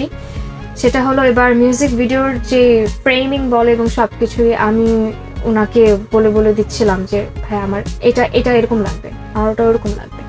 সো সব কিছুর মধ্যেই যেহেতু আমার হস্তক্ষেপটা ছিল বা আমার বিচরণটা ছিল, আসলে হস্তক্ষেপ বলব না এটা হলো আমি বলব যে সব জায়গাতেই যেহেতু আমার বিচরণটা ছিল এবার এই গানটায় সো এটার আসলে রিস্কটাও আমাকেও নিতে হচ্ছে হ্যাঁ? অলমোস্ট সেভেন্টি পার্সেন্টের মতো রিস্ক আমাকেই নিতে হচ্ছে। সো আই রিলি হোপ যে এখানে তোমরা আমাকে সাপোর্টটা করবে অ্যান্ড তোমাদের কাছে হয়তো বা এটা ভালো লাগবে। অ্যান্ড তারপর আসলে ব্যাক টু ব্যাক আমার কিছু গান আসছে। সেগুলো তার মধ্যে যে কটি গান আসছে তার মধ্যে তিন চারটা হলো আমারই লেখা, আমার টিউন করা, আমার কম্পোজিশন করা সব কিছুই সো ওইগুলো আসলে ভালো লাগবে, এই জন্য আমি আসলে ওগুলো নিয়ে আসলে খুবই কনফিউজড এই জন্য কনফিউজ আমি এতদিন পর্যন্ত যেই ধরনের গান গিয়ে এসেছি যে প্যাটার্নের গান গিয়ে এসেছি, সেই প্যাটার্নের আমার আমার লেখাটা আমি কখনো, আমার একটা ব্যাপার আছে, আমি রোমান্টিক গান খুব কম লিখতে পারি থাকে না যে হ্যাপি রোমান্টিক সুন্দর রোমান্টিক একেবারে গানটা শুনলেই খুব ভালো লাগে। এই এই প্যাটার্নের গানগুলো আমি কমই লিখতে পারি, আমি পারি না বললেই চলে। খালি এই গানটা একটু লিখতে পেরেছিলাম। কীভাবে পেরেছিলাম? আই হ্যাভ নো আইডিয়া অনেক অনেক কষ্ট করে লিখেছিলাম। বাট তাছাড়া হলো আমি একটু বাস্তববাদী বা হলো বাস্তববাদী আমি বলব না। আমি একটু হয়তো বা স্যাড সংগুলো বা হলো একটু অন্য টাইপের গানগুলো আমার একটু বেশি লিখতে পারি। আমার কাছে ওগুলো লিখতে ভালো লাগে। বেসিক্যালি ওগুলো আমি লিখতে পারি। সো ওই টাইপের গান আমার কখনোই করা হয়নি। হ্যাঁ যে ওরকম আমি যেটার চিন্তা করছিলাম যে এরকম গান, ওই টাইপের গান আমার আজ পর্যন্ত, এখন পর্যন্ত আমি সেই টাইপের গান একটাও করিনি। এটা আমি তোমাদেরকে বলছি। যেহেতু আমি একটা গান ওই দশ বারো বছরে আমার যেহেতু এক, এই প্যাটার্নের একটা গানও করা হয়নি সো সেখান থেকে আমি আসলে একটু একটু হাই রিস্কেই আছি বললেই চলে বিকজ এটা একদমই এক্সপেরিমেন্টাল বলা যায়, এবং ফার্স্ট টাইম এই টাইপের গানটা করছি। এবং এটা তোমরা হয়তোবা দু মাসের মধ্যে, হয়তোবা মার্চের মধ্যে ইনশাল্লাহ পেয়ে যাবে। আমি যেটা এক্সপেরিমেন্টাল সং বলছি সেটা ইনশাল্লাহ তোমার মার্চের মধ্যে পেয়ে যাবে। So yeah let's hope for the best actually we can't just say anything thank you so yep that's they আমাকে আরও অনেকে মেসেজ করেছে, অনেকে আমার সঙ্গে জয়েন করেছে। আমার অনেকে আসলে আমাকে জিজ্ঞেস করছে যাচ্ছে তোমার শো বা এরকম প্রোগ্রামে কোনো মজার ঘটনা ঘটে নাই ভাই, আমি খুবই হচ্ছে, কি বলব, আমি হলো খুবই গো বেচারা টাইপ একজন মানুষ। আমার আশেপাশে হলো ভাইয়া তার সৈন্য বাহিনী নিয়ে ঘুরতে থাকে। আমি অলওয়েজ ভাইয়া ফ্রেন্ডদেরকে বলি তার সৈন্য বাহিনী। বিকজ কেউ বিশ্বাস করবে, আমি এখন পর্যন্ত কোনো ছেলের প্রপোজাল পাইনি। কেউ আমাকে প্রপোজ করেনি, আজ পর্যন্ত। আমার এর- থেকে কষ্টের আমার কিছু নাই হ্যাঁ। এর থেকে কষ্টের আমার আর কিছু নাই আমাকে সেদিন না, একটা ইন্টারভিউতে জিজ্ঞেস করছে আচ্ছা কেউ তোমাকে প্রপোজ করে নাই? আচ্ছা কয়টা প্রপোজাল তুমি পাইছো? জিরো পয়েন্ট জিরো জিরো হ্যাঁ একটাও না একটাও না বিকজ স্কুলে স্কুলের যে ব্যাপার ছিল স্কুলটা তো আমার গার্লস স্কুল ছিল। সেখানে প্রশ্নই ওঠে না কোন ছেলে ছিলই না। কলেজ যেটা ছিল যে ইয়া স্কুলের লাস্টের দিকে হলো আমি ক্যামেরানে যখন চলে এসেছিলাম নাইনে যখন আমি ক্যামেরানে এসেছিলাম তখনের যে ব্যাপার ছিল, তখন হলো আমাদের মেয়েদের ফ্লোর এবং ছেলেদের ফ্লোর পুরো আলাদা ছিল। মেয়েরা হলো আলাদা, ছেলেরা আলাদা। বাট স্টিল ছেলে মেয়ে কথা বলতে পারতো। চাইলে কথা বলতে পারতো বাট আমি আসলে কথা বলতাম না। আমি কথা, কেন কথা বলতাম না? সেখানেও আমার আম্মু এবং ভাইয়া হলো তাদের সৈন্যবাহিনী দিয়ে দিয়েছিল। আমার একজন ফ্রেন্ড আমার বেস্ট ফ্রেন্ড ছিল। হিসমা আমার একজন ফ্রেন্ড ছিল সো তার উপরে দায়িত্ব ছিল আমাকে চোখে চোখে রাখার জন্য। আমি যেন কোনো ছেলে ছেলেরা যেন আমি তো যাই নাই ঠিক আছে তাই না? ওরা খুব ভালো করে জানে আমি কে কথা বলব না। কোনো ছেলেরা যেন আমার সঙ্গে কথা বলতে না আসতে পারে ওটার জন্য হলো আমার সেই ফ্রেন্ডকে ফ্রেন্ডের উপরে দায়িত্ব দেওয়া হয়েছিল এবং আমার ফ্রেন্ড খুবই নিষ্ঠার সাথে সেই দায়িত্বটা পালন করেছে। এবং আহ, আমি জাস্ট স্কুলের ঢোকার সময় মানে ও যখন বাসা থেকে বের হতো আমাকে ফোন করতো দোস্ত আসতেছিস আহ, আসতেছিস? আমি বলছি হ্যাঁ তো আমি just coming on the way so she to just say that okay fine I just waiting right here তুই এখানে এসে তুই আমাকে বলবি. আমি যে ওকে ফাইন সো গেটের সামনে জাস্ট দাঁড়িয়ে থাকতো। অ্যান্ড আমি উঠতাম আম্মু জাস্ট আমাকে ওর হাতে তুলে দিত। হ্যাঁ, মেয়েকে তুলে দিছে। হ্যাঁ হিসবার হাতে। তুলে দেওয়ার পরে আমাকে সিঁড়ি দিয়ে নিয়ে যেত। সেকেন্ড ফ্লোর হলো আমাদের ক্লাস ক্লাসটা হতো। সেকেন্ড আমরা যেতাম। যে ক্লাসের ভিতর, এই যে ক্লাসের ভিতর ঢুকলাম আমি। ঢোকার পরে, ব্যাস দ্যাটস ইট যখন ইয়ে হতো, আমাদের যখন ছুটি হতো, ছুটি হওয়ার সময় আমাদের ফার্স্ট আধ ঘণ্টার মতো থাকতো হলো মেয়েরা সেদিন আমার জন্য। আধা ঘণ্টা পরে হলো ছেলেরা নামতে পারবে। সো পনেরো মিনিট পরে আসলে ছেলেরা নেমে যেত। ছেলেরা আধ ঘণ্টা ওয়েট করতো না। ছেলেরা পনেরো মিনিট পরে নেমে যেত। আমার ব্যাপারটা ছিল, আমার ফ্রেন্ডের ব্যাপারটা ছিল, যদি এমনও হতো ক্লাসের মধ্যে টিচার বোর্ডে কিছু লিখছেন, এটা আমার নোটটা করতে হবে। আমার ঘণ্টা পড়ার পরে কিন্তু অনেক সময় থাকে না যে নোট করতে হয়। এখনও শেষ হয়নি বা এটা শেষ হয়নি। তো নোট করতে হবে না, তুই ব্যাগে ঢুকা। কেন? যেতে হবে যেতে হবে, তাড়াতাড়ি চল। আরে ভাই, এটা আমাকে নোট করতে দে, না, চল। ওকে ফাইন ওইটা ওইভাবেই ব্যাগের মধ্যে ঢুকায়। ফার্স্ট ডে হলো আমার নিচে আমি নামতাম। ফার্স্ট আমি নিচে নামতাম। নিচে নেমেই দেখতাম যে ওকে ফাইন হয় আম্মু দাঁড়াচ্ছে না তো ভাই দাঁড়াচ্ছে চলো, যাই, বাসায়।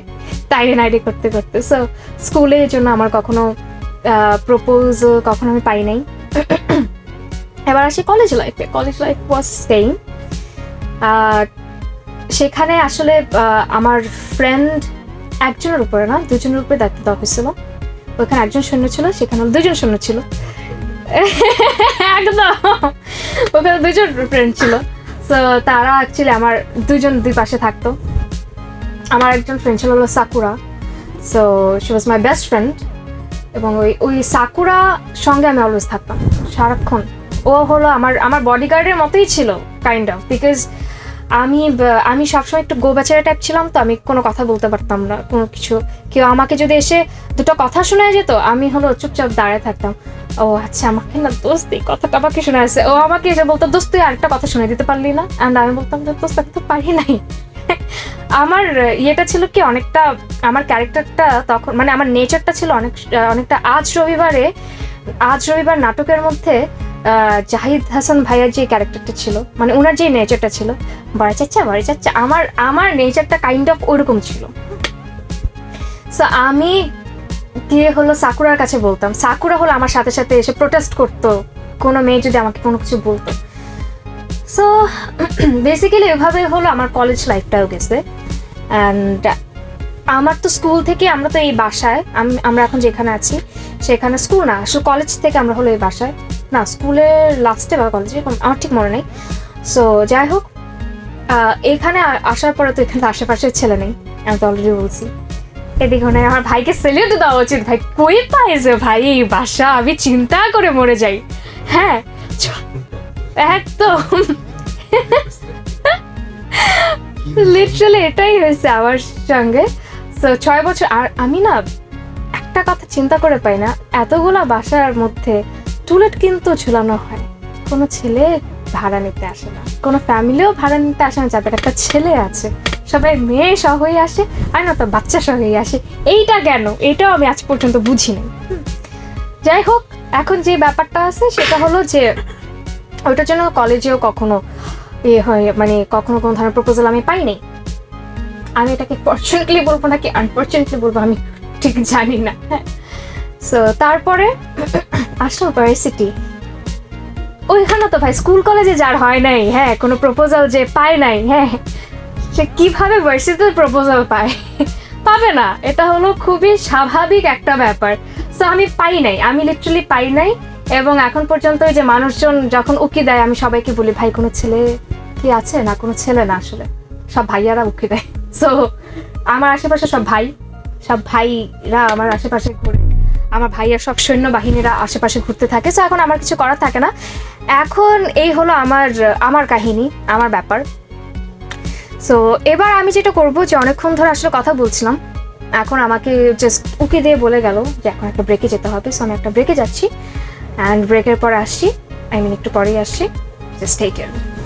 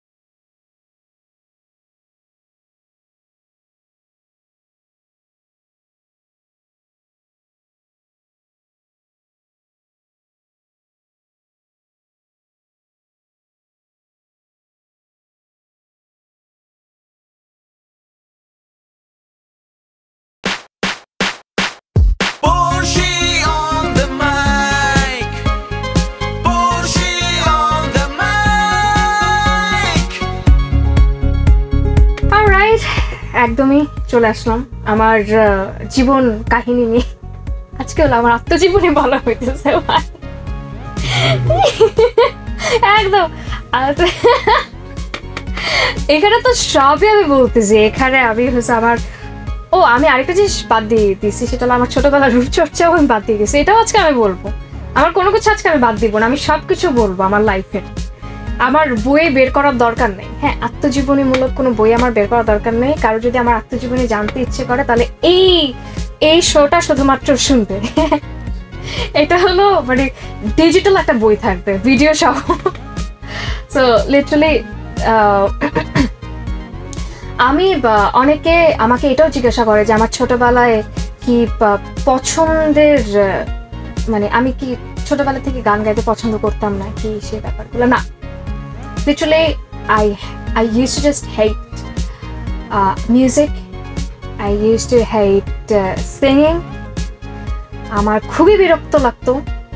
আমাকে নানু হচ্ছে- আমাকে নানু কি কি শিখাতো? আমি কেন খেলার সময় পেতাম না অ্যাকচুয়ালি আমাকে নানু এক শুক্রবারে কি করব? তখন তো খেলা একটা সময় না। সকাল থেকে হলো স্কুল নাই পাই নাচের ক্লাস। তারপর হলো আসবা। এসে হলো শাওয়ার নিয়ে লাঞ্চ করার পরে কিছুক্ষণ পরে গানের ক্লাস তারপর আবৃত্তি শুরু করতো আমার নানু, আমাকে আবৃত্তি শেখাতো, তারপর আমাকে ড্রয়িং শেখাতো, তারপর হলো আমাকে কিছু কিছু সময় আবার আমাকে অ্যাক্টিং শেখাতো, আমার নানুই আমাকে সব কিছু শেখাতো বিকজ হলো আমার নানু ছোটোবেলায় সব কিছুই করতেন আমার নানু হলো আবৃত্তিতে প্রতিবার হলো মেডেল পেতেন।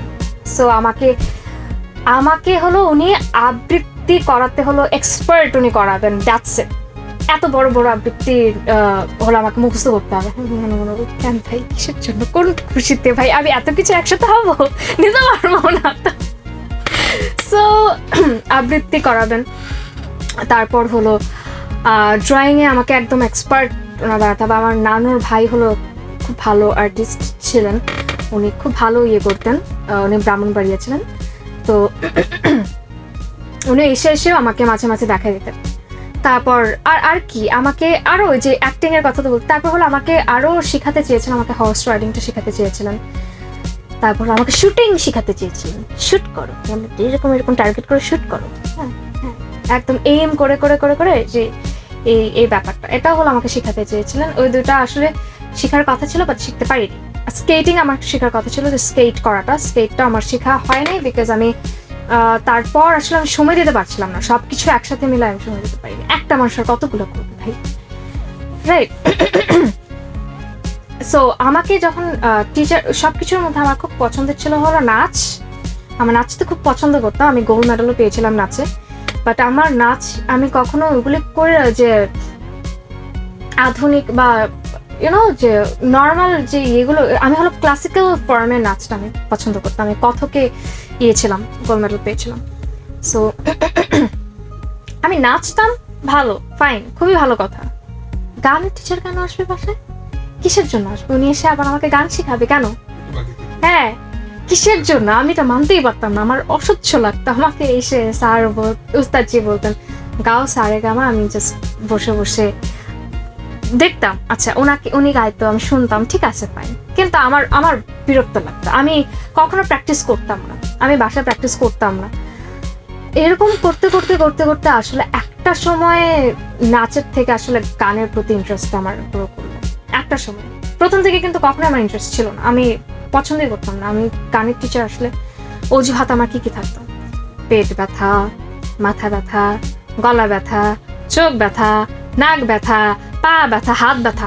মানে আমি মানে আমি একজন অসুস্থ ব্যক্তি লিটারেলি আমি আমি প্রতি শুক্রবারে হলো একজন অসুস্থ ব্যক্তি হয়ে যেতাম। অ্যান্ড উস্তাদজি ওটা বুঝতেন। উস্তাদজিও এমন ছিলেন যে উনি এসে বসে থাকতেন। আচ্ছা ওর, ও ঘুমাচ্ছে অ্যান্ড আমি ঘুমের ভান করতাম। এটা সবসময় এটা করতাম। উস্তাদজি যখনই আসবে, ধরেন চারটার সময় আসবে সো উনি যখন চারটার সময় আসবে, বাস। তিনটা পর্যন্ত আমি কিন্তু জেগে আছি, সাড়ে তিনটা পর্যন্ত আমি জেগে আছি। আমি ওয়েট করতাম, আল্লাহ যেন আজকে উস্তাজি না আসে, আল্লাহ প্লিজ আল্লাহ যেন আজকে উস্তাজি না আসে। কিন্তু উস্তাজি আসতেন। আসার পর ফিফটিন মিনিটস আগে আমি জেগে আছি। যেই দেখতাম কলিং বেলটা বাজলো, সাথে সাথে চোখ বন্ধ। আমার নানু এসে বলতো, ওঠো ওঠো আপু, ওঠো। না, আমি মরার মতো ঘুম অ্যাজ আমি মরেই গেছি অ্যাজ হ্যাঁ আমাকে উঠাতে পারে না। অ্যান্ড ওস্তাজি যেটা করতেন ওস্তাজিও বুঝতেন, উনিও বসে থাকতেন।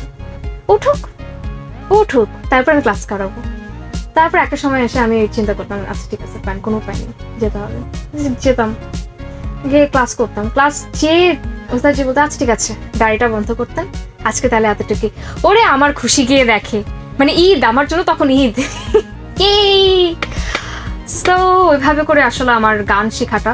জোর করে করে হলো আমাকে গান শেখানো হয়েছে তারপর আসলে ইন্টারেস্ট আমার গ্রো করেছে। তারপর যেটা হয়েছে, আমি নাচটাকে তারপর আমি ছেড়ে দিয়েছি বিকজ আমার কাছে তখন আর নাচতে ভালো লাগতো না। আর আবৃত্তি শুধু করা হয়, এখনও হলো আমার আবৃত্তি চর্চা করা হয় শুধুমাত্র বাসা আমার বাড়িতে হলো আমার আবৃত্তি চর্চাটা করা হয়, মাঝে মাঝে ইউজুয়ালি ওটার জন্যই। আর আর তাছাড়া যে ব্যাপারটা, আমার হর্স রাইডিং এর যে ব্যাপারটা, এটা এখন আমার মধ্যে আছে। আমার কাছে মনে হয় যে, আমি যদি কখনো সুযোগ পাই, আমি অবশ্যই শিখব। Because I love that I would just love to do that and তারপরে যে ব্যাপারগুলো এভাবেই আসলে আমার আমার গানের স্টার্টিংটা এভাবেই হয়েছে। ওকে সো এটার জন্যই আর আমার নানুর, আমার নান, ও, আরেকটাও যে ব্যাপারটা আসলে ভুলে গেছিলাম বলতে। ট্যালেন্ট উফ। ছোটবেলায় অনেক ট্যালেন্টেড ছিলাম আমি। অ্যান্ড অ্যাকচুয়ালি এই ট্যালেন্টগুলো আমাকে খাওয়াই দেওয়া হয়েছিল। এই জন্য ট্যালেন্টেড হয়েছিলাম ছোটবেলায়, তারপর ওইখানেই শেষ। এনিওয়েজ আমার নানু হলো লেখালেখি পছন্দ করতেন উনি এখনও লেখেন। সো আমার নানুর বইও বেরোয়েছে। সো আমার প্রতি নানুর যে ব্যাপার ছিল, আমি যদি এখন সাপোজ এখন আমি বসে আছি, আমি বলছিলাম নানুকে, নানু, আমার ভালো লাগছে আমি কি করব? তোমার এখন যা ইচ্ছে করছে সেটা লিখো। হ্যাঁ? আমি লিখব? হ্যাঁ লিখো। কত টপিক আছে লেখার? আকাশ, বাতাস, মেঘ, গাছপালা, লিখো। তুমি মনের মাধুরী মিশায়। মনের মাধুরী তো সবসময় আসে না রে ভাই। কিন্তু বাধ্য লিখতে হতো।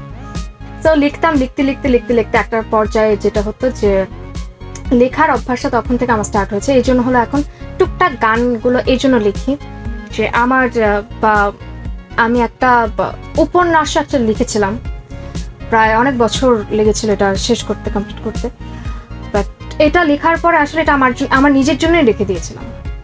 যে ওকে ফাইন আমি আমার নিজের জন্য রেখে দিই। এটা কখনো পাবলিশ করব না, এটা একটা ব্যাপার ছিল। এবং এই জন্য এখন পর্যন্ত করিনি বিকজ কিছু কিছু ব্যাপার আমার কাছে মনে হয় যে প্রত্যেকের লাইফে কিছু কিছু ব্যাপার থাকা উচিত, যেটা নাকি শুধুমাত্র লাইক একান্তই নিজের।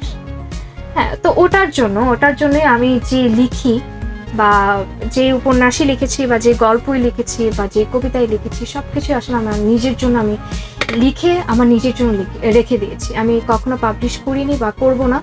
এই জন্যই যে এটা শুধুমাত্র আমার নিজের জন্য যে ছোটবেলার কিছু ব্যাপার নিজের মধ্যে থাকা দরকার। সো অনেকখানি তো কথা বললাম। আরও বলব? আরও শুনতে চান আপনারা কথা? ওকে ফাইন আমরা হলো আরও কথা বলব। আমার লাইফের আরও অনেক কিছু ওনারা জানতে চান। ঠিক আছে, আপনারা আর কি জানতে চান? আপনারা আমাকে প্রশ্ন করেন।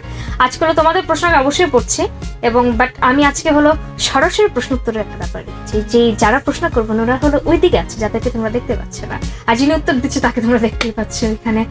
উনি একটু আগে আমাকে একটা বলছিলেন যে, আমি অনেক কম কথা বলি। ঘন্টাখানেক কথা বলি, তারপর শুধু এক- গ্লাস পানি খাই, তারপর আবার কথা বলি। আমি অনেক কম কথা বলি। খালি একটা, এক গ্লাস পানি তো খাই পানি খাওয়ার জন্য যে ফাইভ সেকেন্ডস লাইক সেভেন সেকেন্ডসের মতো আমি একটু বিরতি নিই। হ্যাঁ তারপর আবার কথা বলা শুরু করি। বেশি না, এক ঘণ্টা, দুই ঘণ্টা কথা বলি, তারপর আবার একটু পানি খাওয়ার জন্য break নিই। বেশি কথা বলি না আসলে। চিন্তা করলে কিন্তু খুব একটা বেশি কথা বলি না, তাই না?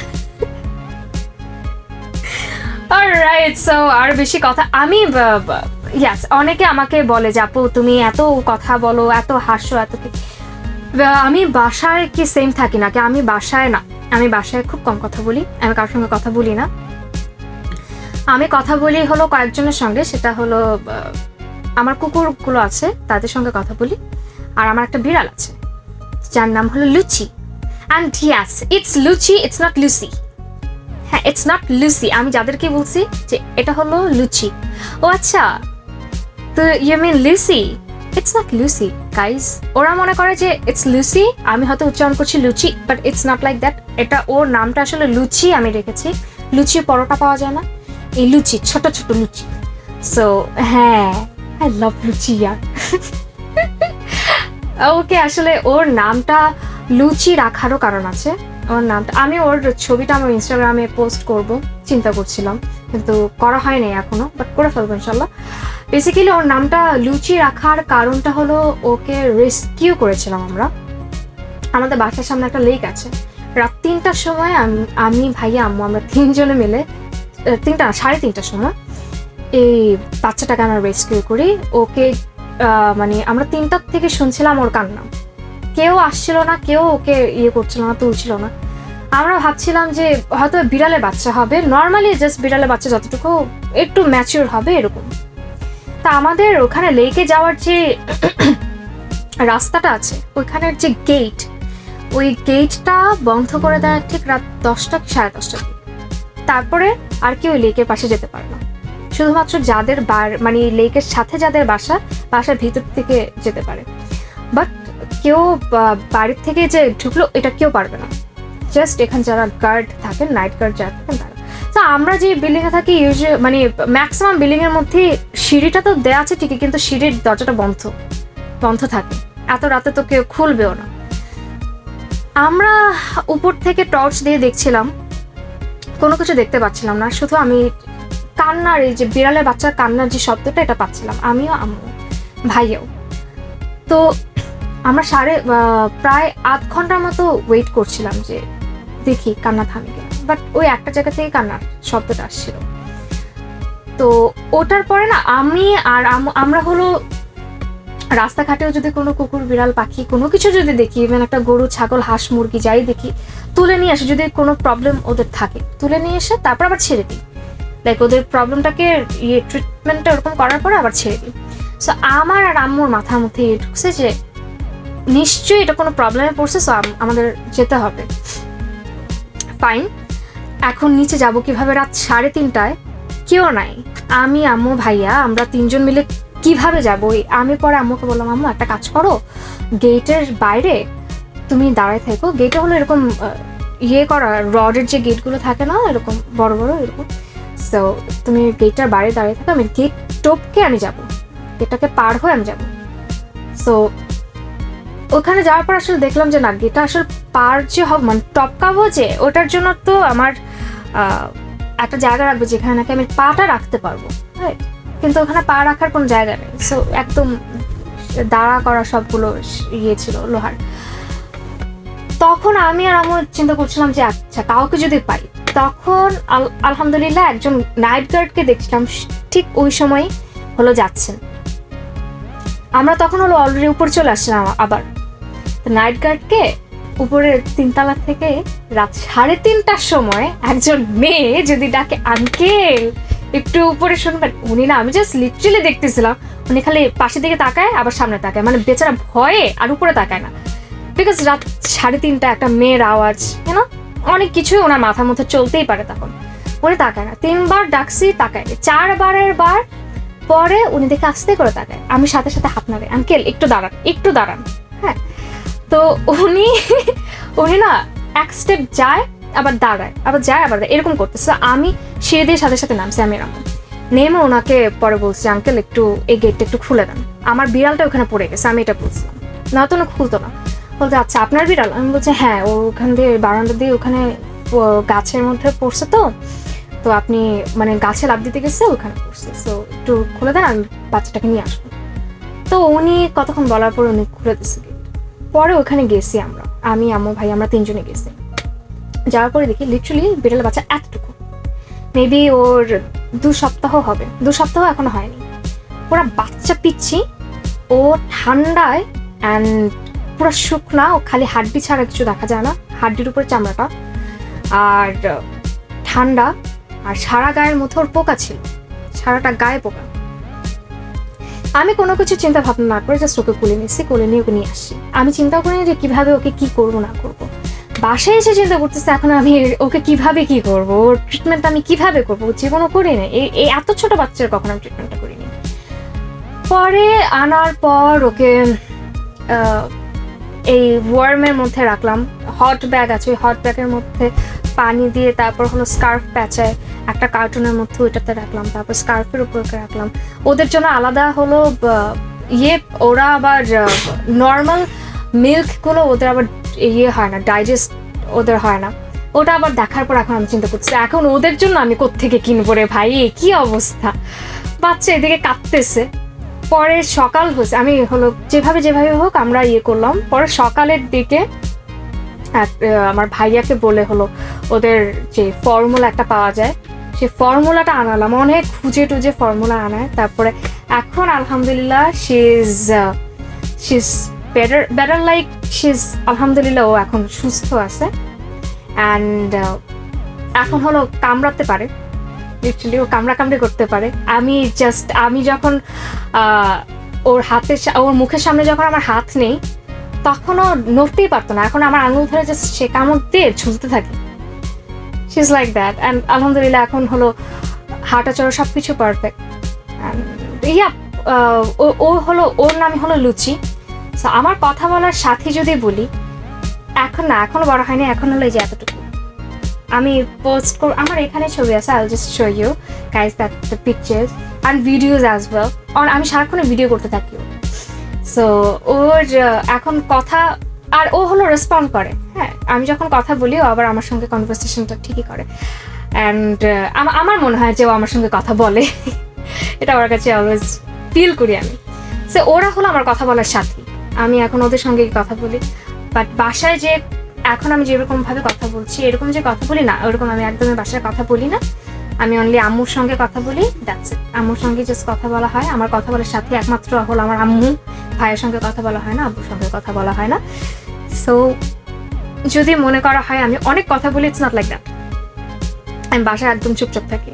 I literally like I barely talk like maybe অল্প একটু হয়তো বা ঘন্টায় আমি কয়েক মিনিট কথা বললাম দ্যাটস ইট না তো সারাক্ষণই হলো আমার মতো করে আমি ওদের সাথেই থাকি থাকি। সো এখন আমি যেটা বলব যে আমাদের সময় কি একদম শেষ হয়ে গেছে?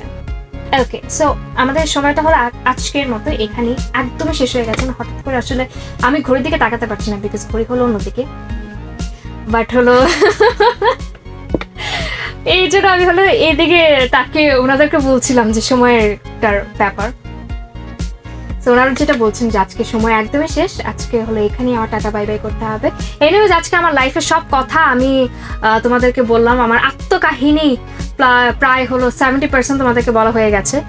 সো আজকে এখানেই থাক, আর বেশি কথা না বলি। এখন জাস্ট যেতে যেতে তোমাদের জন্য কিছু গান আমি প্লে করে দিয়ে যাই। আই রিলি হোপ তোমাদের সবার কাছে ভালো লাগবে গানগুলো। আর অ্যাজ ইউজুয়াল আমি যেটা বলি সবাই খুব ভালো থেকো, সুস্থ থেকো, সুন্দর থেকো। এবং আমার জন্য দোয়া করার জন্য নেক্সট এপিসোডে আবার হাসি হাসি চলে আসতে পারি।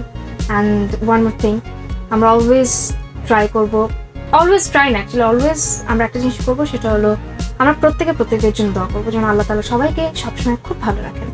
অ্যান্ড ইয়াস আজকের মতো এখানেই টাটা বাই বাই আল্লাহ হাফেজ and good night Capital FM 94.8, দেশের number one music station.